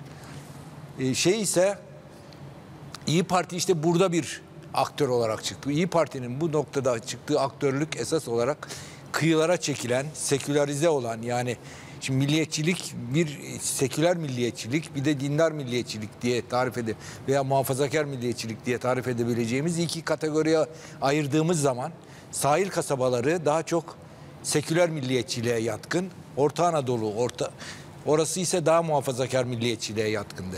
İyi Parti seküler milliyetçiliğin temsilcisi olarak çıktı. Yani büyük Yani CHP'den oy almak üzere e, Yalnız kurulmuş CHP'den değil ama yani sahil kasabalarında tabanı sanki öyle gibiydi. tabiri, e, hafıza sanarak söyleyeyim şu tabiri CHP ile MHP arasındaki son seçimleri göz önünde bulundurarak bunu söylüyorum. Geçişkenliğin olduğu yerlerde şeye partiye kayış var. Ne onun ismi? İyi Parti'ye kayış İşte oldu. Ben de zaten o tabloyu çıkarmak için. Yani şimdi tablo şöyleydi. MHP ve CHP bir taraftaydı. AK Parti bir taraftaydı. Şey ise HDP ise ortadaydı. Daha zaman zaman ittifak ediyor zaman zaman. Şimdi bu değişimle birlikte İyi Parti daha seküler, daha liberal diyebileceğimiz yeni bir dille merkez merkezin de oylarını alabilme iddiasıyla MHP'nin içindeki bu güçle ortaya çıktı. Yani MHP'den ayrıldı ama sırf MHP ile sınırlı olmayan, daha çok merkeze seslenmeyi amaçlayan ve merkezde bir boşluk olduğunu hisseden veya öyle tespit eden bir yerden siyaset yapmaya karar verdiler. Ve zaten biraz önce Abdülkadir Selvi de söylüyordu. 24 Haziran seçimleri öncesi e, hakikaten samimi olarak Cumhurbaşkanlığı seçiminin ikinci turda Meral Akşener tarafından kazanılacağına inanan bir AK Par- İyi Partili kitle oluşmaya başlamıştı merkezinde. Çünkü öyle şöyle düşünüyorlardı. Merkeze kayıyor toplum. E, AK Parti de MHP ile ittifak yaparak daha milliyetçi bir yere doğru savruluyor. Merkez boşalıyor. Onların tahlili buydu. Yani merkezin boşaldığı, AK Parti'nin merkezi terk etmeye doğru gittiği şeklinde bir kanaate varmışlardı. Ve bu kanaatin sonucu böyle bir siyaseti izlemeyi düşündüler. Ama de- dedikleri gibi çıkmadı. Yerli ve milli e, diyen ittifak daha kuvvetli bir şekilde çıktı seçimde ama şu oldu hakikaten. Mesela Orta Anadolu'da oylar kaydı dediğim gibi. Tam şu noktada şunu merak ediyorum Oral abi. Yani e, bu merkezden bahsediyorsunuz ama yani gelinen nokta itibariyle 24 Haziran'daki sonuç ortada. Meral Akşener'in e, tavrı ortada. Bazısı diyor ki küsüp gitmeye e, e, Evet, sen dönük bir hareket sorusunu, esas yaptı. gazeteci merak. Bazısı da diyor ki manevra yaptı. Doğrudan bunu sormak istiyorum. Gerçekten manevra yaptığına inanıyor musunuz? Ben inanmıyorum. Yani şöyle bir şey var. Şimdi aslında e, bir, bir yönüyle baktığın zaman Yani bir baş... gerçekten samimi çekilmek Evet. konusunda. Ya bir yönüyle baktığın zaman bir başarı hikayesi. İki ayda kurulmuş bir parti. Yüzde dokuz, dokuz civarında ona yakın oy alıyor. 42 47 millet- milletvekili. 42 milletvekili çıkarıyor. Bir yönüyle baktığın zaman bir başarı hikayesi. Ama iddiaları ve ortaya çıkış gerekçeleri e, bu, bu neticeyi hak etmedikleri şeklinde kendilerinde bir sonuç yarattı. Onun için bir hayal kırıklığı yaşadılar. O hayal kırıklığı bence mesela bir de şöyle bir şey oldu. Meral Akşener şimdi milletvekili olmayan bir başkan. Milletvekili olmadığın Partisinin zaman başında değil diyorlar. Tabii Bu da bir me- handikap meclisi- olabilir deniyor. ku- kuma- kumanda, kumanda etmesi zorlaşacak fa- falan. Bir sürü problem çıkacak. Bir de kendisi yani ikinci tura kalacak bir cumhurbaşkanı adayı diye beklerken dö- dördüncü mü oldu? Dördüncü oldu değil mi? Dördüncü oldu. E, bunlar samimi olarak onun siyaseti bırakmak istediğini gösteriyor. Tam bu noktada Mithat Hoca'ya soralım İyi Parti mevzunu. Ee, İyi Parti'nin dağılması iddiası böyle bir şey, Tabii. böyle bir risk var mı? Efendim söyleyeyim Dağılırsa onu. onu yani ilave söylemeye edeyim. çalışayım tabii bilemem ama Var mı? bir arka planla söyleyebilir miyim efendim? Anladım. Var diyorsanız ilave bir soru soracağım da o yüzden. Dağılma ihtimali mi? Evet. Var. Varsa bu oyun e, daha doğrusu milletvekillerinin önemli bölümü MHP'ye mi AK Parti'ye mi kayar? Yani e, bir kısmı yani e, oran veremem ama MHP'ye giden de olur, AK Parti'ye Ya giden bundan de olur. iktidarda yararlanabilir diyorsunuz. Yararlanabilir Evet tabii. şimdi buyurun. Arka plandan Yani birkaç tane olabilir belki. Evet. Şimdi efendim 42 milletvekiliyle e, meclise e, şey yaptı, girdi. Ama e, şu çok önemli, hep vurgulandı. Toplumsal talepler doğrultusunda olmayarak diye onu da vurgulayalım. Şimdi çok- söyleyeceğim. Toplumsal e, talepler doğrultusunda oluşmayan bir siyasi organizasyondu. Yani e, onu as- esasında Mehmet Şahin de vurgulamaya çalıştı.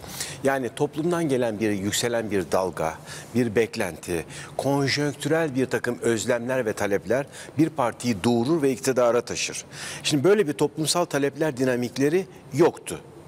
Peki bakıldığı zaman bir MHP hareketi içerisinden doğdu. MHP hareketi deyince de milliyetçiliğin özellikle Türkçü damarının yoğun olduğu bir partidir. Peki şimdi şu soruları sormamız lazım bizim. Türkçüleri tatmin etti mi İyi Parti? Bence cevabı hayır. Peki muhafazakar dünyaya nüfuz edip dokunabildi mi? Bence yeterince değil. Peki seküler ve sosyal demokrat kesime içine girebildi mi, entegre olabildi mi? Bence hayır. Yani aslında İyi Parti aslında her yerde olmak istedi. Ama Montaigne'in ünlü deyişiyle her yerde olmak aslında hiçbir yerde olmamaktır. Ve hiçbir yerde olamadı. Büyük bir handikap, bu büyük bir handikaptır. Bir catch all dedikleri yani herkesi kucaklayan bir parti olmak istiyorsunuz ama hiçbir bunun correspond ettiği, tekabül ettiği hiçbir alanda bulamıyorsunuz. Peki kendi seçmen tabanı yani oy veren bir belli bir kesim var tabii. Tatmin oldu mu bundan? Bakıldığı zaman şimdi onların perspektifinden söylüyorum. Benim düşüncem değil. Mesela Demirtaş'ın serbest bırakılması söylemi o tabanda bence çok olumlu karşılanmadı. CHP ile ittifakı çok beğenmedi bence tabanı onların perspektifinden. Daha ziyade Sa evet Saadet Partisi ile olmasını istediler. Muharrem İnce'ye karşı bir söylem geliştiremedi. Yani Muharrem İnce'nin gölgesinde kalktığı için zaten e, şey oldu. E, bir dönem bazı anketlere göre İyi Parti'ye doğru kayan oylar süratle fazlasıyla geri gelmeye başladı. Şimdi bu Afyon'daki toplantıda çok muhtemeldir ki MHP ile olan ayak bağlarından aslında kurtulmaya çalıştı. Yani o kalıntıyı atarak biraz önce söylediğim gibi bir merkez, milli merkez dediği Bunu belki. açabilir miyiz? Yani herkesi kucaklayan bir merkez parti, bir alternatif e, şeyde e, merkez sağda bir alternatif parti olmayı yani MHP arka planını atarak bir MHP tezahürü, bir MHP iz düşümü olmayan bir parti izlenimi yaratmaya çalıştı. Fakat şimdi handikap ne? Bunu yapabilir mi yapamaz mı? Şunu önemsediğim için söylüyorum. Yani seçilse de seçilmese de eli güçlü değil artık şeyin Meral Akşener'in. Şimdi neden eli güçlü? Bir, Cumhurbaşkanı oyu parti oyundan az. Bu bir lider için büyük bir handikaptır. yani tabii partisinin gerisinde. Yani seçmen, oy veren seçmen diyor ki benim partim işte yüzde ona yakın oy aldı. Ama sen Cumhurbaşkanı'nda yüzde yedide kaldın. Şimdi bu yani partisinin önüne çıkamayan bir liderin elini kolunu bağlar. Bu çok büyük bir handikaptır. İkincisi 42 milletvekili grup kurduk. Mecliste toplanacak. Mecliste değil başkan. Yani o meclisin fokurdadığı zamanlarda genel başkanın mecliste olmadığı, milletvekili olmaması dolayısıyla misafir gibi adeta gelip gittiği bir partiye nedenli hakim olabilir?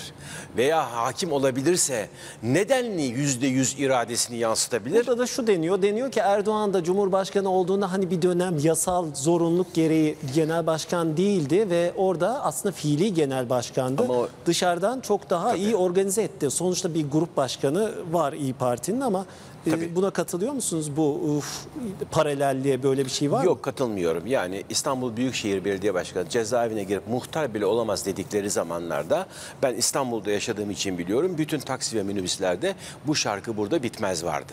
Yani onun derin bir arka planı vardır. Şimdi Akşener olayı öyle değil. E, bir üçüncüsünü daha söyleyeyim. 42 milletvekili var ama eski sistem olsaydı baraj altıydı. Baraj altı parti. Biz hiç onu konuşmuyoruz. %9.96. Yani o zaman biz demeyecek miydik? "E, Barajı geçemeyen bir parti diyecektik. Evet. Yani bak şimdi başarılı mı başarısız mı? Mesela başarılı da diyen mesela değil mi burada değerli arkadaşlarımız oluyor. Bence başarılı değil. Neden başarılı değil? Çıtayı çok yüksek tuttular o zaman bize yani bir dönem. Bir zamanlar Fenerbahçe'ye Didi gelmişti teknik direktör. Emin Can Kurtaran başkandı rahmetli. Ee, Fenerbahçe'nin başkanı. Cemilli, Osmanlı, Antiçli, İvan Çeviçli kadrolardı. Fenerbahçe Şampiyonlar Ligi'nde final oynayacağız bu sene diyorlardı. İlk turda elendi. Çıtayı yüksek tutmayacaksınız. Çıtayı yüksek tuttular. Başka bir şey daha var. Meral Akşener Cumhurbaşkanı Başka bir olacağım şey dedi. daha eklemek Evet. isterim. O da şu. Şimdi Ben bir şey tamamlayayım istersen. Çok az Tamam, bir şey kaldı. olsun. Ama bana katkı Tabii olacaksa des- söyle. kat, katkı olsun diye. Tabii, tabii, dördüncü söyle. olarak ekleyeyim. Çünkü ilk İyi Parti ortaya çıktığında Milliyetçi Hareket Partisi'nin içinde e, ağırlıklı olarak siyaset yapmış insanların Anadolu'da teşkilatlanarak ortaya çıktı. Daha bu birkaç ay geçti şimdi. Bu insanları bir tarafa atıp yürümek istediğinizde bunun bir tepkisi olacak ortaya. Tabii tabii tabii. Şey değil yani o, o- Tabii. ne oluyoruz diyecek yani böyle bir durum da var. Bu da siyasetin yani mikro ölçekteki farklı dinamikleridir. Peki şimdi döner mi dönmez mi? Asıl Hep diyoruz ya Bahçeli aslında Türk siyasetini partisinin cüssesinden çok fazla etkileyen bir liderdir. Bunu kabul etmek lazım. Ya af tartışmaları, bedelli askerlik tartışması, BK meselesi, ittifaka girmesi, erken seçim kararı, erken seçim kararı ilk Bahçeli'nin yine 2000 Anayasa değişikliği. anayasa değişiklikleri 2000 2002'deki daha 2002'lerdeki erken seçimi Türkiye'ye AK Parti'nin yine o zaman önünü açması. Şimdi mesela 2002 seçimlerinden sonra Bahçeli dedi ki baraj altında kalan liderler gitsin dedi. Çiller ve Yılmaz gitti biliyor musunuz? Bahçeli de istifa etti. Gerçi Bahçeli de gidiyordu. Bahçeli Geri döndü. istifa etti ama döndü tekrar. Tek gitmeyen Bahçeli oldu. Bahçeli tek gitmeyen Hepsini Bahçeli oldu. gönderdi. Şimdi MHP geleneğinden gelmesi itibarıyla eğer o partinin ben de bu teamüllerine uyayım derse gelebilir. Gıya, gıyabında bir başkan seçilebilir. Şimdi bunu bilmiyorum. Ama eee, bu tür durumlarda eee, eğer gıyabında başkan seçilirse eee, kesin tek bir otorite olarak istediği şekilde dizayn edebilmesi çerçevesinde kesin gelir demiyorum ama gelebilme ihtimalini yüksek görüyorum. Evet. Ya o anlamda bir manevra kabul edebilirsiniz. Peki geldiğinde güçlü olur mu? Hayır olmaz. Çünkü efendim ben siyasi tarihe bakarım referansa. Bunu örne- bunun örnekleri var. Kısaca onu son cümle olarak söyleyeyim size. Adalet Partisi'nden Bozbeyli ve arkadaşlar ayrıldı. 41'ler hareketi olarak. Şimdi kimse hatırlamıyor bile biliyor musunuz? Cumhuriyet Halk Partisi'nden Turhan Feyzlioğlu ve arkadaşlar ayrıldı. Cumhuriyetçi Güven Partisi. Kimse hatırlamıyor. ANAP'tan Bedrettin Dağan ayrıldı. Demokrat Merkez Partisi. Hiç kimse hatırlamıyor. Bunun iki istisnası vardır. Bakın bunlar ama mühim olduğu için Bu son söylüyorum. olacak herhalde hocam. Son tabii. Cumhuriyet Halk Partisi'ne ayrılan Demokrat Parti'dir ama farklı bir paradigmadır. Faziletten ayrılan AK Partisi'dir, Adalet ve Kalkınma Partisi'dir. Bütün merkez partileri çöktüğü bir ortamdır. Farklı bir paradigmadır. Bunları ayrı değerlendirmek lazım. Normal süreçte tutmaz bu iş. İyi Parti mevzuunda e, herkes Bir şey ekleyebilir Buyurun, miyim? buyurun. Ya aslında başkanlık sisteminin mantığı şimdi bu genel başkanlık hikaye genel başkanlığı öngörmüyor. Bizde biraz karışık durum. Yani normali başkanlık sistemi zaten Cumhurbaşkanı adayının milletvekili adayı olamaması da o kasıtla. Yani Cumhurbaşkanlığı esastır, başkanlık esastır, parti başkanlığı talidir. Önemsizdir noktasında bakıyor. Sistemin O sistemin mantığı o ama bizim sistem daha tam o değil olmadığı için biraz karışık. Ama biz tabii uzun bir parlamenter Yani bir süre sonra şöyle olabilir belki Mithat Hoca bir soru işareti kafamda. Yani bir süre sonra parti genel başkanlığının bir kıymeti kalmayabilir başkanlık sistemi nedeniyle. Tabii tabii bu zaten Olabilir, siyasetteki ezberleri tamamen Tabii. bozabilecek Ama bir yani sistem dedi. iyi bir prim yaparsa o partinin genel başkanı olma sıfatıyla lokomotif adayı. bir cumhurbaşkanı adayı olabilir mi diye o eksende zaten bunu tartışıyoruz. Yoksa mesela bunun dünyada da örnekleri var. Bu siyaset felsefesi de yeniden yazılacak. Macron örneği var mesela.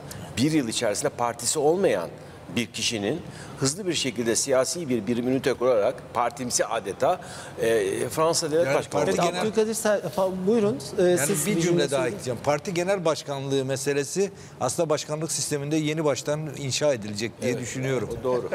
O Bizde doğru. adamlar parti genel başkanı kalmak için her türlü koltukları öbür tarafa bırakanlar var. Daha Bu konu için son 2-3 Ama işte dakikamız reklama eski gideceğiz ama önce size sorayım. E. Abdülkadir Selvi siz katılıyor musunuz? Parti genel başkanlığının bu süreç içerisinde, başkanlık sistemi süreci içerisinde önemsizleşebileceğini düşünüyor musunuz? Biz tabii uzun süre parlamenter sistem kültüründen geldiğimiz için bunun kısa sürede ol- olmasını beklemiyorum. En azından iki dönem üzerinden geçmesi gerekiyor.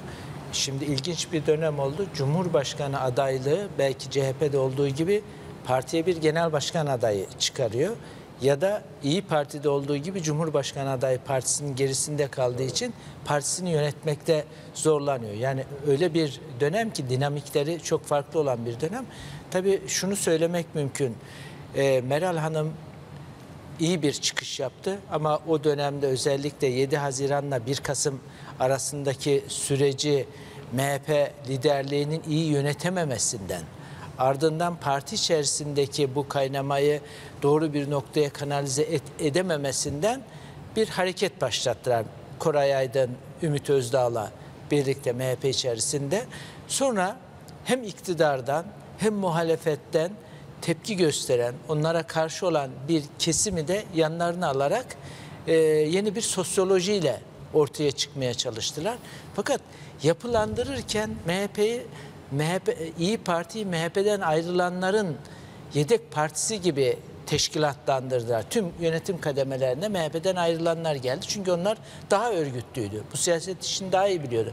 Fakat toplumun beklentisi o değildi. Toplum DSP'den gelen de, CHP'den gelen de, Kürdü de, Alevi de, Milliyetçiyi de o partide görmek istiyordu. Yeni bir şeyler söyleyebilirlerdi. Yeni bir siyaset tarzı getirebilirlerdi. Oralarda zorlanmaya başladı. Onun yansıması da seçimlerde görüldü ama orada şunu da dikkat etmek gerekiyor. Sayın Erdoğan da orada çok usta bir manevra yaptı. Muharrem İnce'yi hedef aldı. Meral Akşener'i hedef almadı. İnce'yi büyüttü. Geldiğimiz noktada Meral Akşener partinin başına dönse de artık topal ördek olmuştur. Evet. E, bir reklam arasına gideceğiz. Reklamdan sonra Nedim Şener'le devam edeceğiz ve son bölüme giriyoruz. Orada farklı bir konu var. E, konu da Adnan Oktar operasyonu ve bu operasyonun diğer cemaatlere dönük operasyonlara da öncülük edip etmediği bunu konuşacağız. Kısa bir reklam arasının ardından.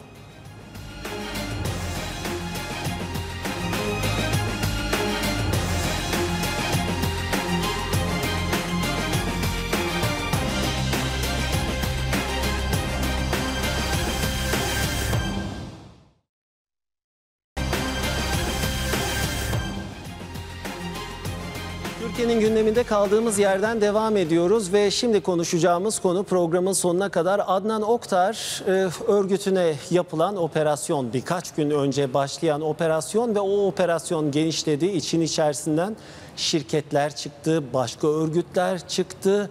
FETÖ ile ilgili bağlantı iddiaları çıktı.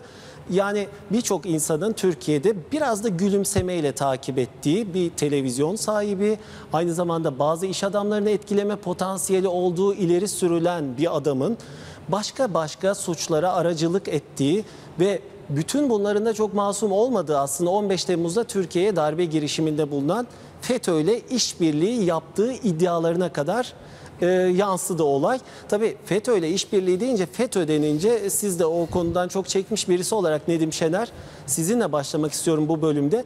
Adnan Oktar örgütünü siz uzun yıllar takip ettiğiniz zaman bir FETÖ ile bağlantı sezdiniz mi? Böyle bir şey var mıydı? Şimdi onu e, an- şey yapacağım. e, Yani o bağlantıyı bana hatırlatın ama ondan önce yine bu e, FETÖ'nün FETÖ'yle mü- mücadele ederken aslında yalanla mücadele. Yani onun hayatı her şeyi yalan olduğu için örgütün. Şimdi onun bir benzerini bu akşam yaşıyoruz. İzninizle ona açıklık getirmek isterim. Sosyal medyada da Twitter'da ismimizi 10. sıraya kadar çıkardılar yalanla. Bunu da sağ olsun tanıdığımız gazeteciler var internet siteleri T24 falan diye. Ee, güya ben bu e, Brunson'ın e, Kürtleri Hristiyanlaştırmak amacında olduğunu kendi kanaatim, kendi görüşüm olarak beyan etmişim. Bunu da haber yaptılar. Bu arkadaşlar iddianame okumak özürlü olduğu için e, gazeteci de sayılmazlar. Yani en ufak basit belgeyi dahi okumayı okuyup bunun bir alıntı olduğunu şey yapmazlar, değerlendirmezler. Ben şimdi kısaca onu hatırlatmak Şu anda isterim. 13. sıradasınız Top Tweet'te. Ya tabii çünkü yalan yalana çok kolay inanıp buna bir de cevap yetiştiriyoruz. Maalesef görüyorsunuz zamanda bundan israf oluyor. Bakın iddianamenin dördüncü sayfasında kod adı dua olan ve bütün belge ve dokümanları o kilisenin içinden e, polise veren, polise aktaran kişinin anlatımları ve bu savcılık e, tarafından da değerlendirme kısmında aynen şöyle diyor bakın e, dua. Andrew Bronson kilisenin ve kilisede, kilisesinde ve evlerde yapılan özel toplantılarda Kürtlere yönelik özel ayinler düzenlemektedir. Bu tipler dışarıdan ayrı bir misyonerlik faaliyeti yürütmezler. Evlerde ev çalışması yaparlar. 30 kişilik bir cemaat oluştuysa bunun 3'te 4'e 3'e 4'e bölerler. O gruplardan bir tanesi de muhakkak Kürtlerden oluşur ve çalışmalar içinde yanlış hatırlamıyorsam Zi- Ziyajin isimli Kürtçe İncil de oluşturmuş oluşturulmuştur. Diriliş Kilisesi'nin Güneydoğu'da Kürtlere yönelik ayrı bir cemaati vardır. Andrew yönetici olduğu için kendisi kont- kontrol eder. Kürtlerin özellikle bu şekilde Hristiyanlık dinine yönlendirilmesindeki amaç Kürdistan'ın kurulmak üzere olduğu inancıyla Kürtleri Hristiyanlaştırarak ayrıştırmaktır. Örneğin Irak işgalinde 600 tane rahip sırf bu görev için Irak'a gitmiştir ve Kuzey Irak'ta da bir süre kilise açmıştır. Bunların inancına göre kayıp 13. bir kabile vardır ve bu kabile kutsaldır. Bunlar arasındaki ayrışmaya göre kayıp 13. kabile bir kısmına göre Kürtlerdir. Andrew'un kilisesi 13. kabilenin Kürtler olduğuna inanmaktadır. Bu inanca göre Kürtler Tanrı tarafından özel seçilmiş, kutsanmış bir kabiledir.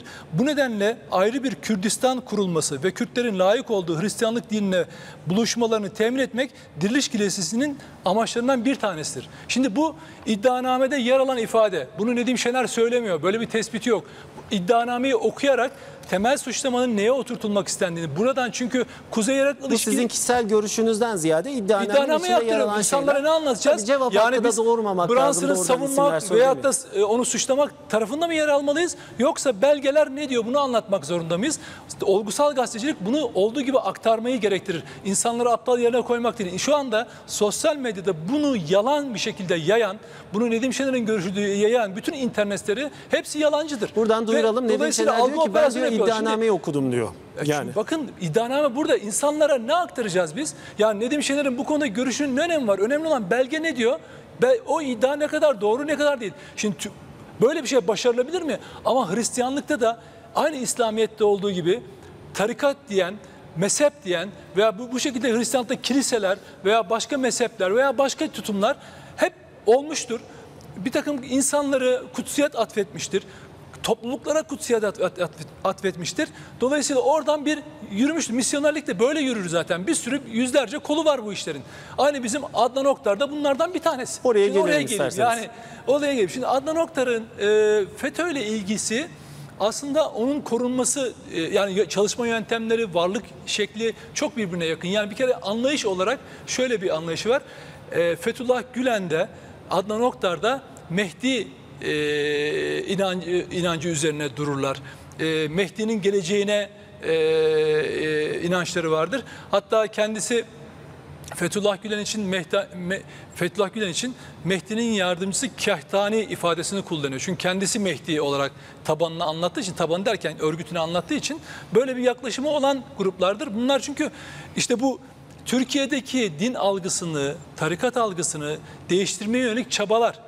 Yani düşünün din, diyanet, kitap, Allah, Kur'an deyip e, kadınları çarşaflı çıkaracaksınız. Sonra etekli çıkaracaksınız. Sonra masonlarla yaptığınız toplantıları e, televizyondan e, canlı yayınlayacaksınız. Ve insanlardaki din algısını e, ba- bambaşka noktaya çevireceksiniz. Yani bütün bu inanç dünyası üzerine yürütülen operasyonlar öyle amaçsız falan değil toplumların inanç e, e, dayanışma ve ortak e, paydaş paydaş olduğu alanları yok etmek, onları çözüm çözmektir aslında.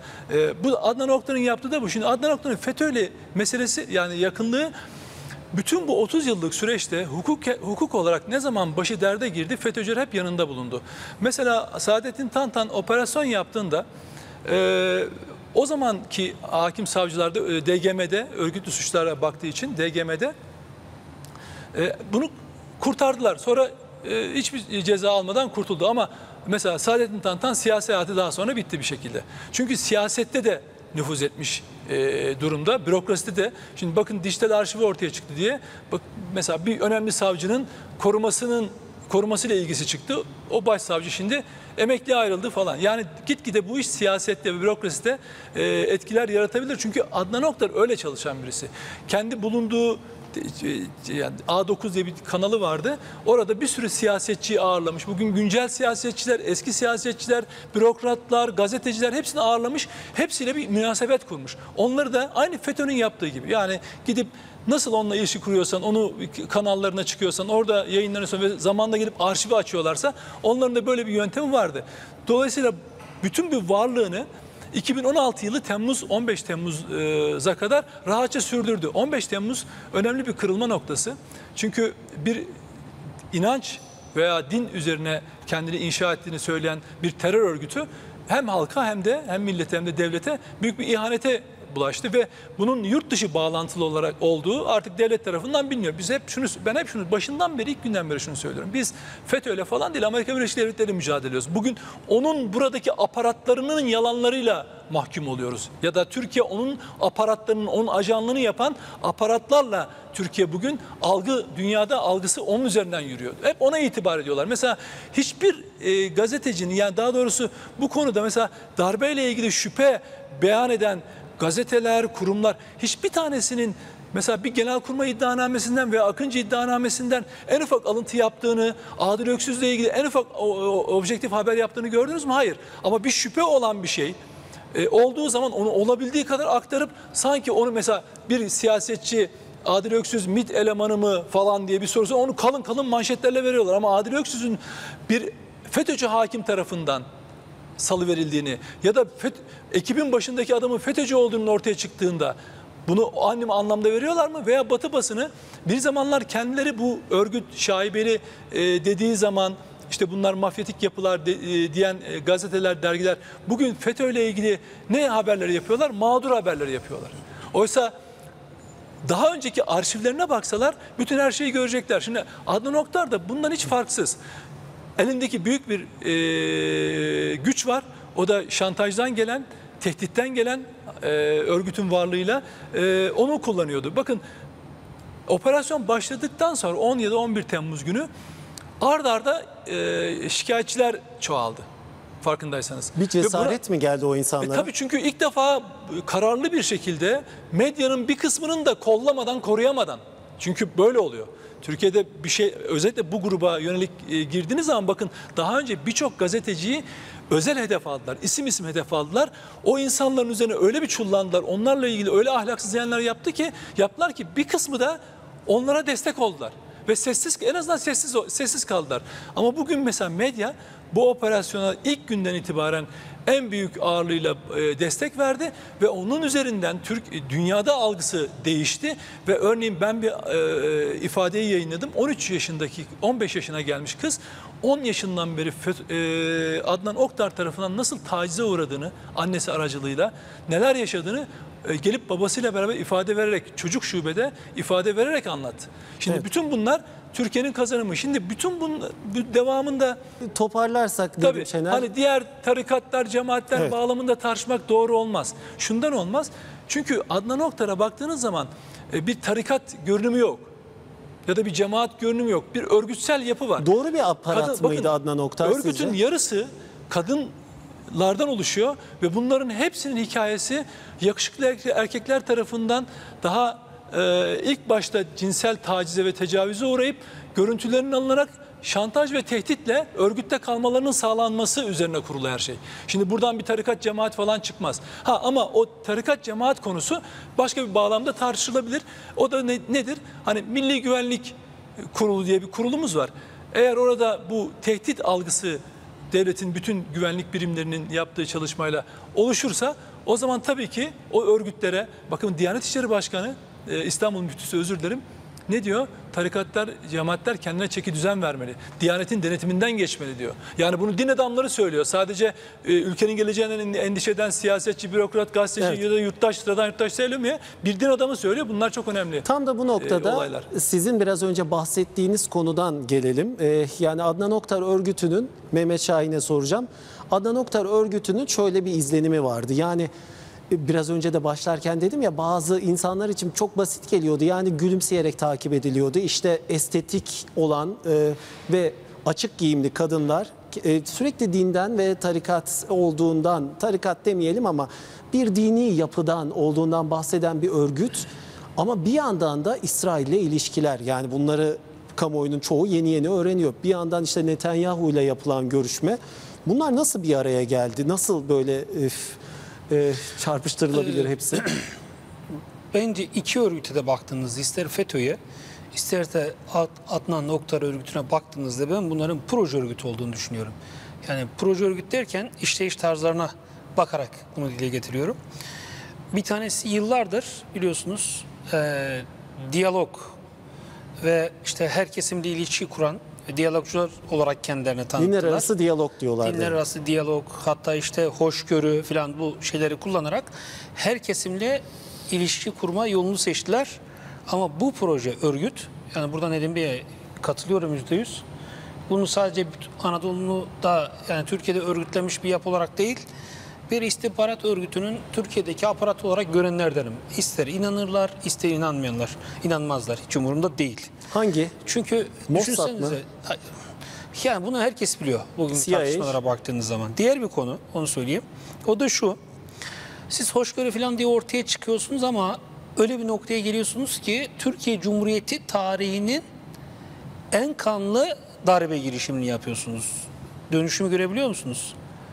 Yani öyle bir noktadan hareket ediyorsunuz. Tüm kesimlerle ilişki kura- ku- kuran, hatta sadece Türkiye'deki değil, İslam dünyasını göz önünde bulundurarak e, dünya ile iletişim kuracak tek örgüt olarak kendinizi tanıtırken en radikal örgütlerin ortaya koyacağı tavrın aynısını koyuyorsunuz. Adanmışlık şeklinde.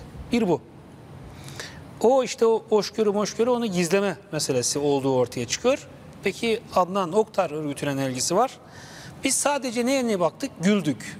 Yani sosyal medyada işte ne bileyim Hala da gülüyoruz. e, Ankara havaları e, işte ne bileyim Ankara'nın o meşhur biliyorsunuz Ankara'nın bağları bilmem nedir falan meşhur e, şarkılarının türkülerinin eşliğinde eğlenen bir grup olarak böyle bir şey. Aslında şunun fark edilmesi gerekiyordu. Bu, bu görüntünün altında bir şeylerin yürütüldüğünü anlaması gerekiyor. Kimin? Yani belki toplum bunu çok rahatlıkla şey yapabilemez ama devletin ve devleti yönetenlerin bunu takip etmesi gerekiyor.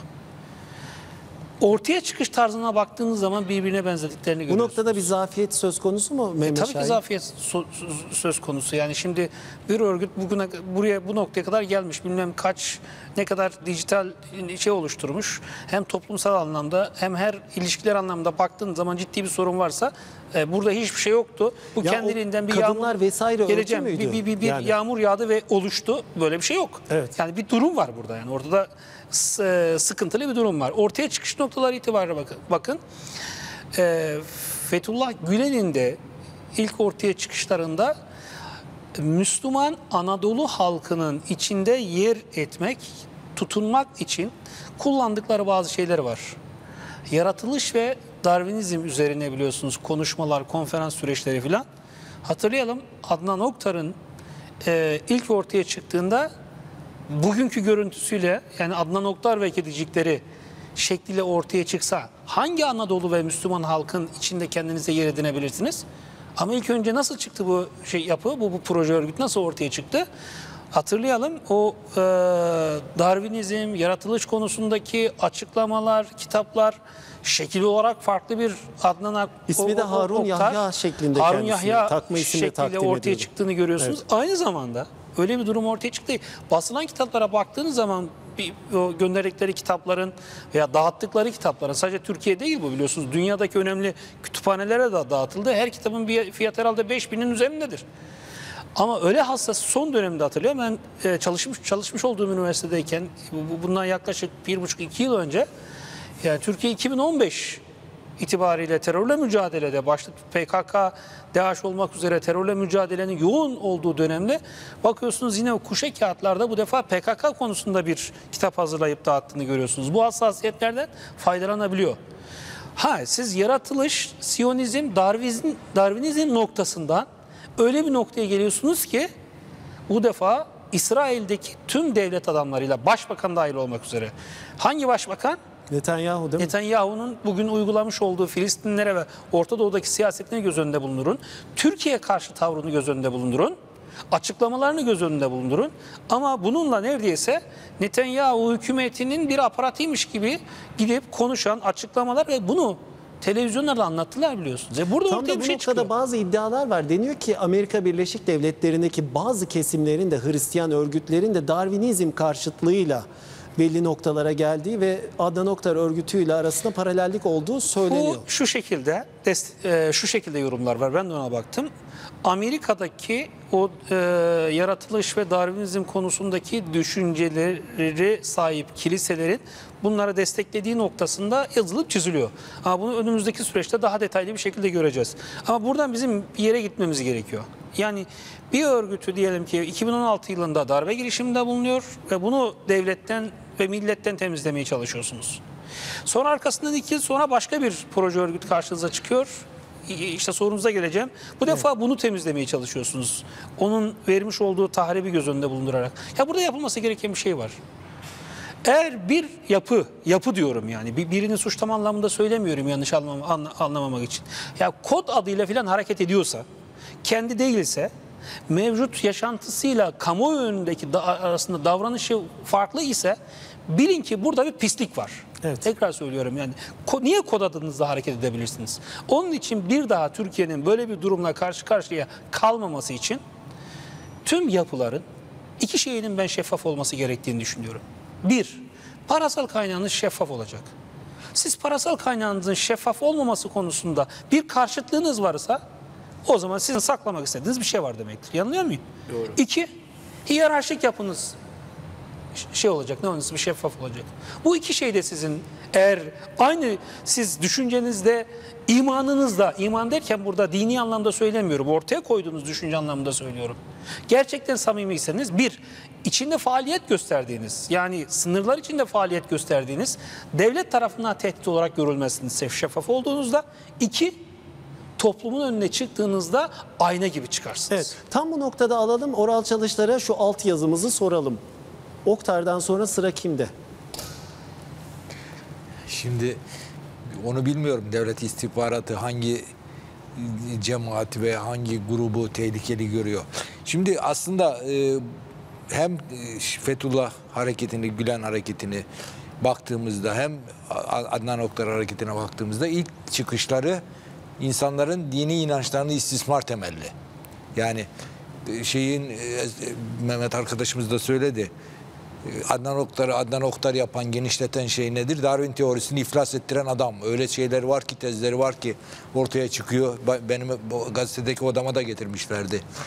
Yerinden oynaması zor bir kocaman kitap. Hatırla. Milletvekillerine dağıtıldığını biliyorum mecliste. İşte bana da getirdiler gazetedeki odama. etmişler. Yani yerinden oynatam, Ki o oynatmakta kitaplar çok pahalı. e, çok pahalı, çok kıymetli kağıtlara, pahalı kağıtlara basılmış.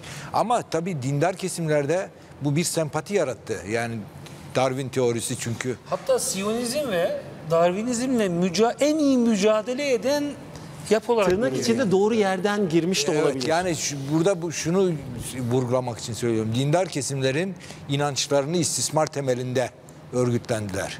İki tarafında başlangıç şeyi yani şimdi Fethullah Hoca'yı düşünün. Fethullah Gülen nasıl meşhur oldu? Kestane Pazarı Camii'nde İzmir'de binlerce inançlı insanı hatta oradaki kalabalık yetmedi Sultanahmet Camii'ne geldi. Sultanahmet Camii'nde on binlerce taraf taraftar ve dinleyiciye hitap eden büyük bir dini önder öyle geliştiler. Yani dini kesimleri ve dindar kesimleri istismar ederek ve onları örgütleyerek başladılar işe. Onun için burada bu açıdan bir öz eleştiriye veya bu açıdan bir değerlendirmeye ihtiyaç var.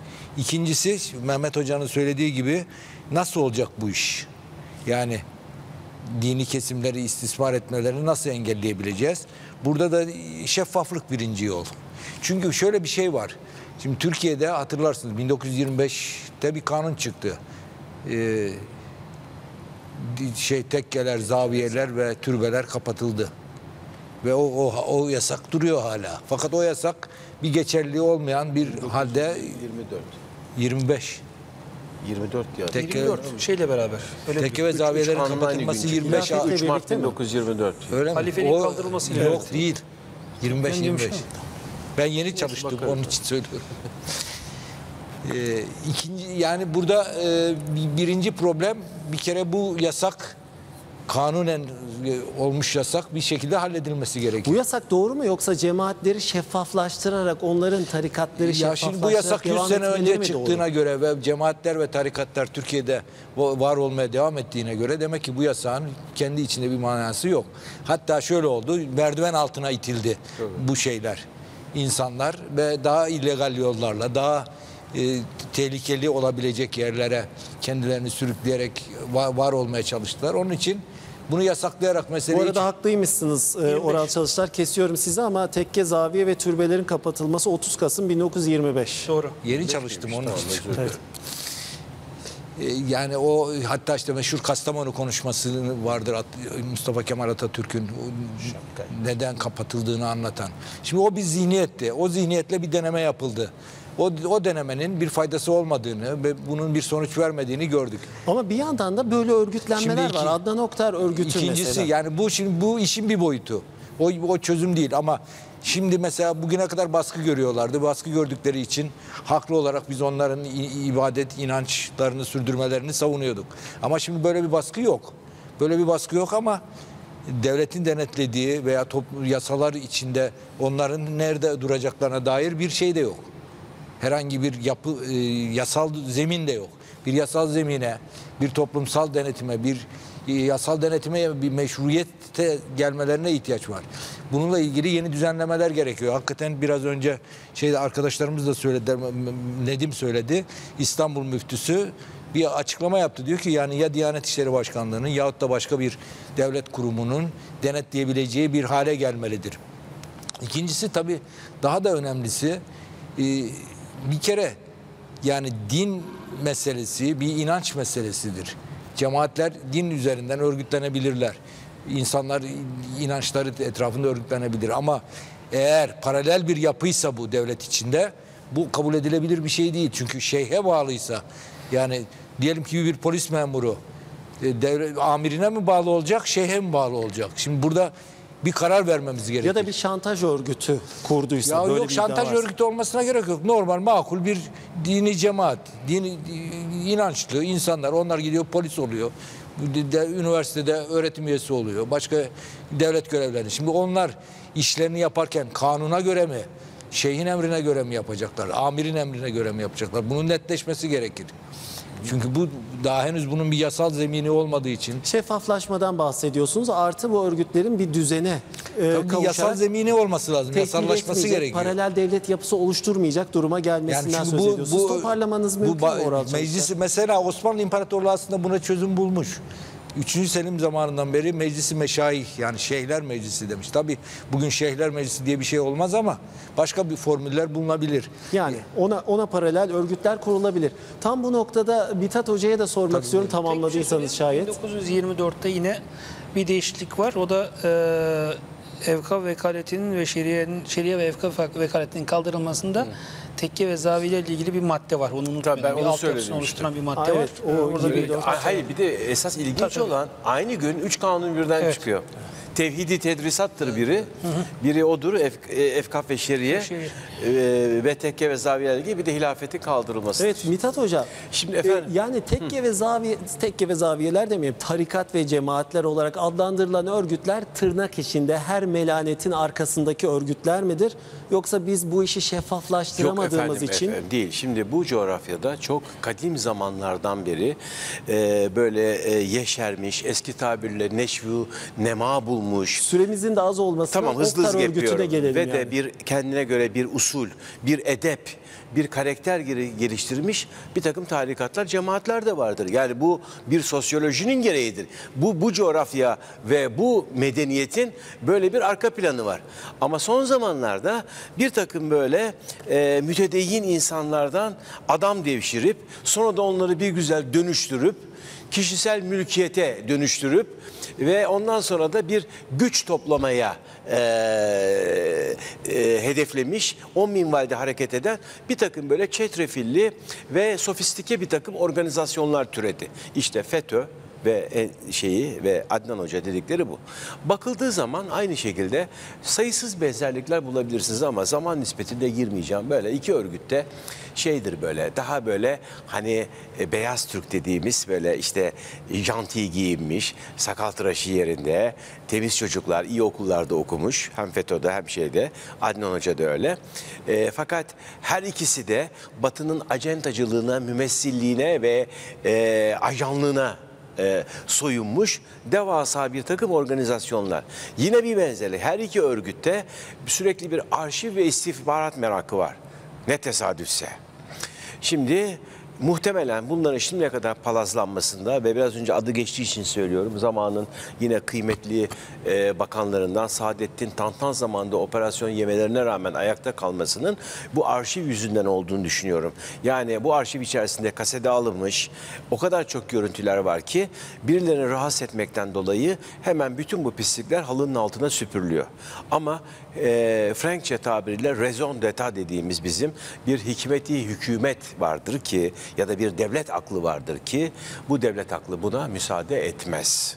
Yani sizi devleti tehdit edecek, devletin siyasi elitlerini kurduğunuz arşiv ve mekanizmayla tehdit edecek noktaya geldiğinizde devlet sizi yok eder. Ve o süreç başlamıştır. Bu Peki süreç şöyle bir aslında. soru da var hocam. Yani katkıda bulunmak açısından soruyorum. Deniyor ki ne oldu da şimdi bu operasyonlar başladı? Yani 24 Haziran seçimleriyle de bağlantılandırabilirsiniz. Başka şeylerle de bağlantılandırabilirsiniz. Belki FETÖ operasyonlarında yaşanan bazı gelişmelerle Şimdi bu, bağlandırabilirsiniz. bu iki bir, e, aslında biraz önce söylediğimde zımni olarak saklı o. Bu FETÖ ve Adnan Hoca gibi örgütlerin aslında Türkiye'de barınıp burada palazlanıp bütün servislerini e, belli bir takım e, şeylere, mahfillere göndermesinin uzun zamandır bilinip yapılmamasına rağmen devlet konjonktür gereği şimdi süratle üzerlerine gidiyor. Bir tanesi odur. İkincisi de bütün bu yapılanlar yani ben bir teoloji ve ilahiyatçı değilim. Yani dolayısıyla e, burada eğer iddialı bir şey de söylüyor olursam bütün ilahiyat profesörlerimizden de özür dilerim. Haddimizi bilelim. Ama e, bu İslamsız bir İslamiyetti.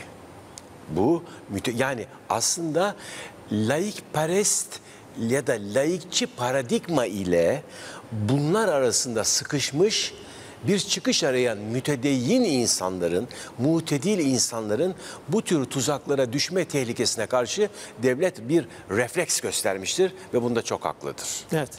Tam bu noktada bir cümle okuyabilir miyim? Buyurun. İstanbul müftüsü cemaati tarif ederken profesör o da. Muhtemelen ilahiyat profesörü. Ee, cemaat mens- cemaat insanları dönüştürmeye, değiştirmeye ve belli bir kalıba dökmeye yönelik sosyolojik bir harekettir. Bireysel kabiliyetler, ferdi özellikler çok nazara alınmaz. Evet. Önemli bir cemaat tarifi yapıyor. Yani. Ben önemsedim onu. Abdülkadir Selvi'ye de bu konuda söyleyeceklerini soralım. Adnan Oktar operasyonu niye bu zaman başladı ve Adnan Oktar örgütü konusunda geç mi kalındı? Bu örgütün İsrail bağlantıları Tabii şimdi bu örgütle ilgili olarak bir 99 yılında Tantan döneminde yapılan bir operasyon var ama o dönem zaten devlet içerisinde bir kargaşa ve kaos dönemi. Özellikle yargıdaki boşlukları kullanmak suretiyle o operasyonu başarısız e, kılıyorlar. Zannediyorum biraz da o bunlara bir dokunulmazlık da e, sağlıyor gibi ya bunlarla uğraşılmaz diye ve e, bu yapının e, bir başka özelliği de e, FETÖ terör örgütü diğer dini gruplarla, cemaatlerle, bürokraside ya da diğer sahalarda mücadele etmesine rağmen bunlarla hiçbir yerde bir çatışmaya girmiyorlar. Çünkü bu da diyor ki e, ben onu severim, o da beni sever diye Fethullah Gülen'e mesaj gönderiyor. Sorgusunda da niye böyle dedin e, nedir diyor. İşte kendimizi korumak için söyledim diyor. 2010 yılında FETÖ'nün polis imamlardan Tuncay Opçin'le, Mehmet Baransu'yla, Ali Bulaş'la görüşmeler yapıyor. Onu da e, ifade ediyor. E, ayrıca e, Gülen'i Kahtani yani kendisi Mehdi, o da Mehdi'nin yardımcısı gibi gösteriyor. Bu konuda zaten dolaşımda olan videolar da var. Bir ilişki biçimi içerisindeler. Niye şimdi? 2016 yılında yapılan yani çok sayıda e, suç duyurusu da bulunuluyor ama belli ki e, yargı da bir yılgınlık içerisinde ya da başka sayıklarla işleme koymuyor. 2016 yılında bir soruşturma numarası e, veriliyor. Şimdiki operasyon da zaten o soruşturma numarası üzerinden gidiyor. Bir avukat grubu var. Bu operasyonun başarılı olmasının bir nedeni de o. Önce avukat grubuna operasyon yapıldığı için onlar hemen yargıda başka mekanizmalar harekete geçiremedi. Avukat grubunun görevi tek şu. Hiçbir başka davaya bakmıyorlar. İstanbul'da önemli adliyeler başta Çağlayan Adliyesi olmak üzere kendileriyle ilgili en ufak bir suç duyurusu olduğunda hemen harekete geçiyorlar ve kendileri o şahısla ilgili olarak nerede boşluk buldular? Örneğin Çorum'da, örneğin Çankırı'da, örneğin Muğla'da, örneğin Hakkari'de hemen harekete geçiyorlar. İnsanlar bunlarla çok uğraşmak istemediler ama belli ki devlet için bir tehdit haline de gelmiş. 2016 yılında yapılan e, o suç duyurusu bunlar ne cemaat olmalarıyla ilgili ne yaptıkları faaliyeti tamamen bir cinsel tacizle ilgili. Çok yüz kızartıcı bir olay. Zaten arşivlerinde de o büyük ölçüde ortaya çıkıyor. Küçük yaştaki kızlar alıkonuluyor. 13,5 yaşına kadar bekletiliyor. 13,5 yaşı belli ki onlarda bir e, kriter, bir ergenlik kriteri midir bilemiyorum. Bu tür iğrençlikler söz konusu. Tabii alışılmış bir e, cemaat yapısı değil. Zaten bir İslami bir cemaat olarak da bakmamak lazım. Dini çok iyi kullanıyorlar ama dini kullanırken de çok e, seksi giyinen kadınlarla, kendilerince çok modern görünümleriyle yani dinden korkan ya irtica mı bunlar şu mu bu mu diyenlere de aman yok biz öyle değiliz. Bak işte seksi giyiniyoruz. Bu kızlardan işte Ankara havalarını oynuyoruz. Bizde sadece şarap haram ama vodka, viski, rakı içilebilir e, gibi bunları bir vitrin olarak kullanıyorlar aslında. Çünkü bu vitrin iyi bir iş yapıyor. Ya bunlar diyor böyle işte dini cemaat bunlardan bir şey olmaz. Onlar onun arkasında belli ki iddiaları ne? Ortaya çıkışları işte masonlarla mücadele ediyorlardı. Kendisi Mason- masonluk beratı aldı. Siyonizmle mücadele ediyordu. İsrail'le ilişkileri en iyi olan yapı. Adnan Oktar'a, e, Oktar Babun'a işte İsrail'le ilişkileri düzenleyen e, kişi canlı yayında gittiklerinde Netanyahu ile görüşme ve orada yaptıkları temaslarla ilgili bilgi veriyor. Ve bunlara da Aslında bunu da Tabii. gizlememişler çok fazla değil mi? Netanyahu'yla vesaire artı A9 o Adnan? Oktar'ın kanalındaki programlarda İsrail'le ilgili bayağı Tabii bir ki. dolu Ve sözleri oradan var. gelen yani. heyetler var. Buradan giden heyetler var. O da kamuflajı işte. Tabii onların da şey. Bu yapı belli ki bir dönem FETÖ çok güçlü olduğu için istihbarat servislerinde nasıl güçlü olduğunu da 15 Temmuz'da gördük zaten. Yani bu ülkede savaş uçaklarını kaldırıp meclisi bombalattı. Böyle bir yapı onu daha çok aktif olarak e, kullanmış. E, bu e, Amerikan, İngiliz ve İsrail istihbarat yapılanması onun gücü zayıflamaya başlayınca bunları güçlendirmeye başlamışlar. Bunlar kendilerine dini bir kisve e, edinmiş bir e, istihbarat yapılanması, bir çıkar örgütü. İnsanların mesela şu anda orada oturdukları o villa kiraladıkları yer 200 metrekarelik bir yer ama kullandıkları 4 dönümlük bir arazi ve o arazi denize nazır bir arazi. Bunlarla ilgili olarak tabii şunu da yapmışlar. MASAK'tan rapor almışlar. Bankalara, vergi dairelerine, ticaret odalarına da yazı yazılmamış. Çünkü bu tür şeyler yazıldığında bir yerden e, bilgileri oluyor. Hemen harekete geçiyorlar. Zaten bu sefer biraz amansız yakalanmaların nedeni de e, o.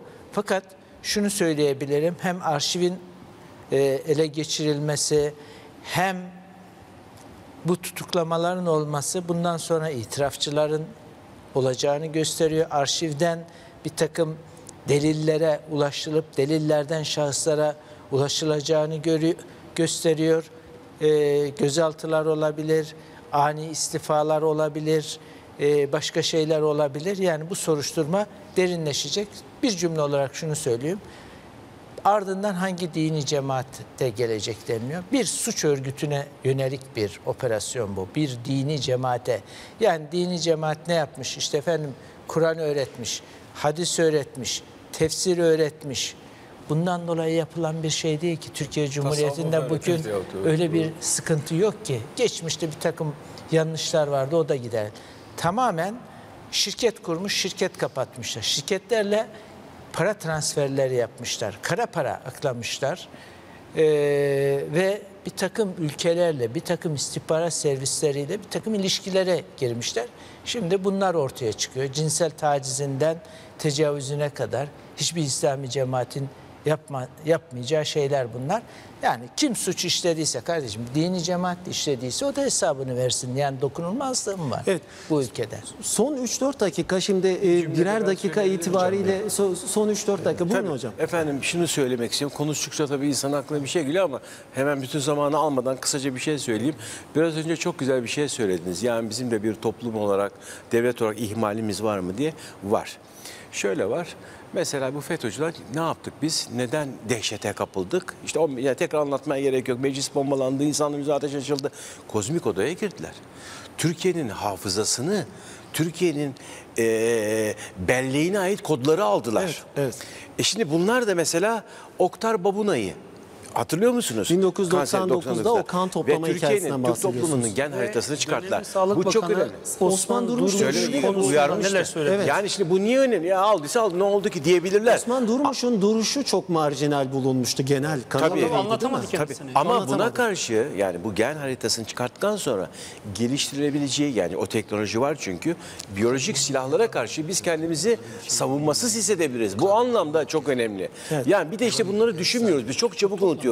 Biri Pe- Pe- Pensilvanya'ya gidiyor. Ya niye Malezya'ya, Endonezya, Mısır'a değil de Pensilvanya'ya gitti diye düşünmemiz lazım. Bu Oktar Babuna'nın kan örnekleri ne oldu? Kan kanseri iki ay ömrü var diyor. Adam hala yaşıyor. Nedir bu diye düşünmüyoruz. Onlar şimdi düşünülüyor Eksiğimiz ve orada. Osman Durmuş'un da hakkı teslim ediliyor zannediyorum. Nedim Şener çok Bugün kısa bir gazete- süremiz kaldı bugün, buyurun. e, Adnan Oktar'ın mason olması ile ilgili bir haber vardı gazetelerde. E, 1 milyon dolar galiba ödemişler. Amerika'daki P2 P2 locasına. İlginç olan şu. O mason locasına üye olduğunuz zaman Amerika'daki başkanların yemin törenlerine davetiye geliyor size. Ve Adnan Oktar bunu da kullanmış mesela. Habere göre, gazetelerde yalan habere göre. Çünkü ifade vermiş bu e, işe aracılık eden kişi. E, son başkanın yemin törenine de e, Oktar Babuna ile yanında birisi Davet edin. e, davet edilmiş. O ma- masonluktan dolayı. Yani hani FETÖ'yle bağlantısı, Amerika bağlantısı diyorsunuz ya. Evet. e, Türkiye'nin etrafındaki sarmala baktığınız zaman herkesi bir yerine koyduğunuzda aslında nasıl bir ateş çemberinin içinde olduğunu da net görürsünüz. Şener P2 Mason'un hocası da Gladio yapılanmasının en önemli unsurlarından birisidir. Evet. Bir de Gladio yapılanması var. Tabii istihbarat bağlantısından e, hocam da bahsetti. Çok direkt istihbarat ismini vermedi e, Ya ben Mehmet Şahin Hoca da. Ee, ben genel, istihbarat örgütünün genel ama düşünce- o da tahmin ediliyor. Son, son, cümle, Son bir dakika. Son cümlemi söyleyeyim. Ee, ben bunların sonradan yoldan çıktığını falan düşünmüyorum. Yani ister Akta, e, Adnan Oktar meselesinde olsun, isterse FETÖ meselesinde olsun ortaya çıkış itibariyle birlikte baştan itibaren bir proje örgütü olduğunu düşünüyorum. Şey olduğunu düşünmüyorum. Yani ya işte bunlar şöyle de sonradan birileri bunu bu tarafa kaydı falan. Bu çok naif bir düşünce Gerçekçi gelmiyor diyorsunuz. Evet. Ee, konuklarıma çok teşekkür ediyorum. Oral Çalışlar, Mehmet Şahin, Nedim Şener, Abdülkadir Selvi ve Mithat Baydur. Gerçekten iç siyaset, dış siyaset ve cemaat yapılanmaları, Adnan Oktar operasyonu bunları konuştuk ve programımız burada sona eriyor. Görüşmek üzere, hoşçakalın.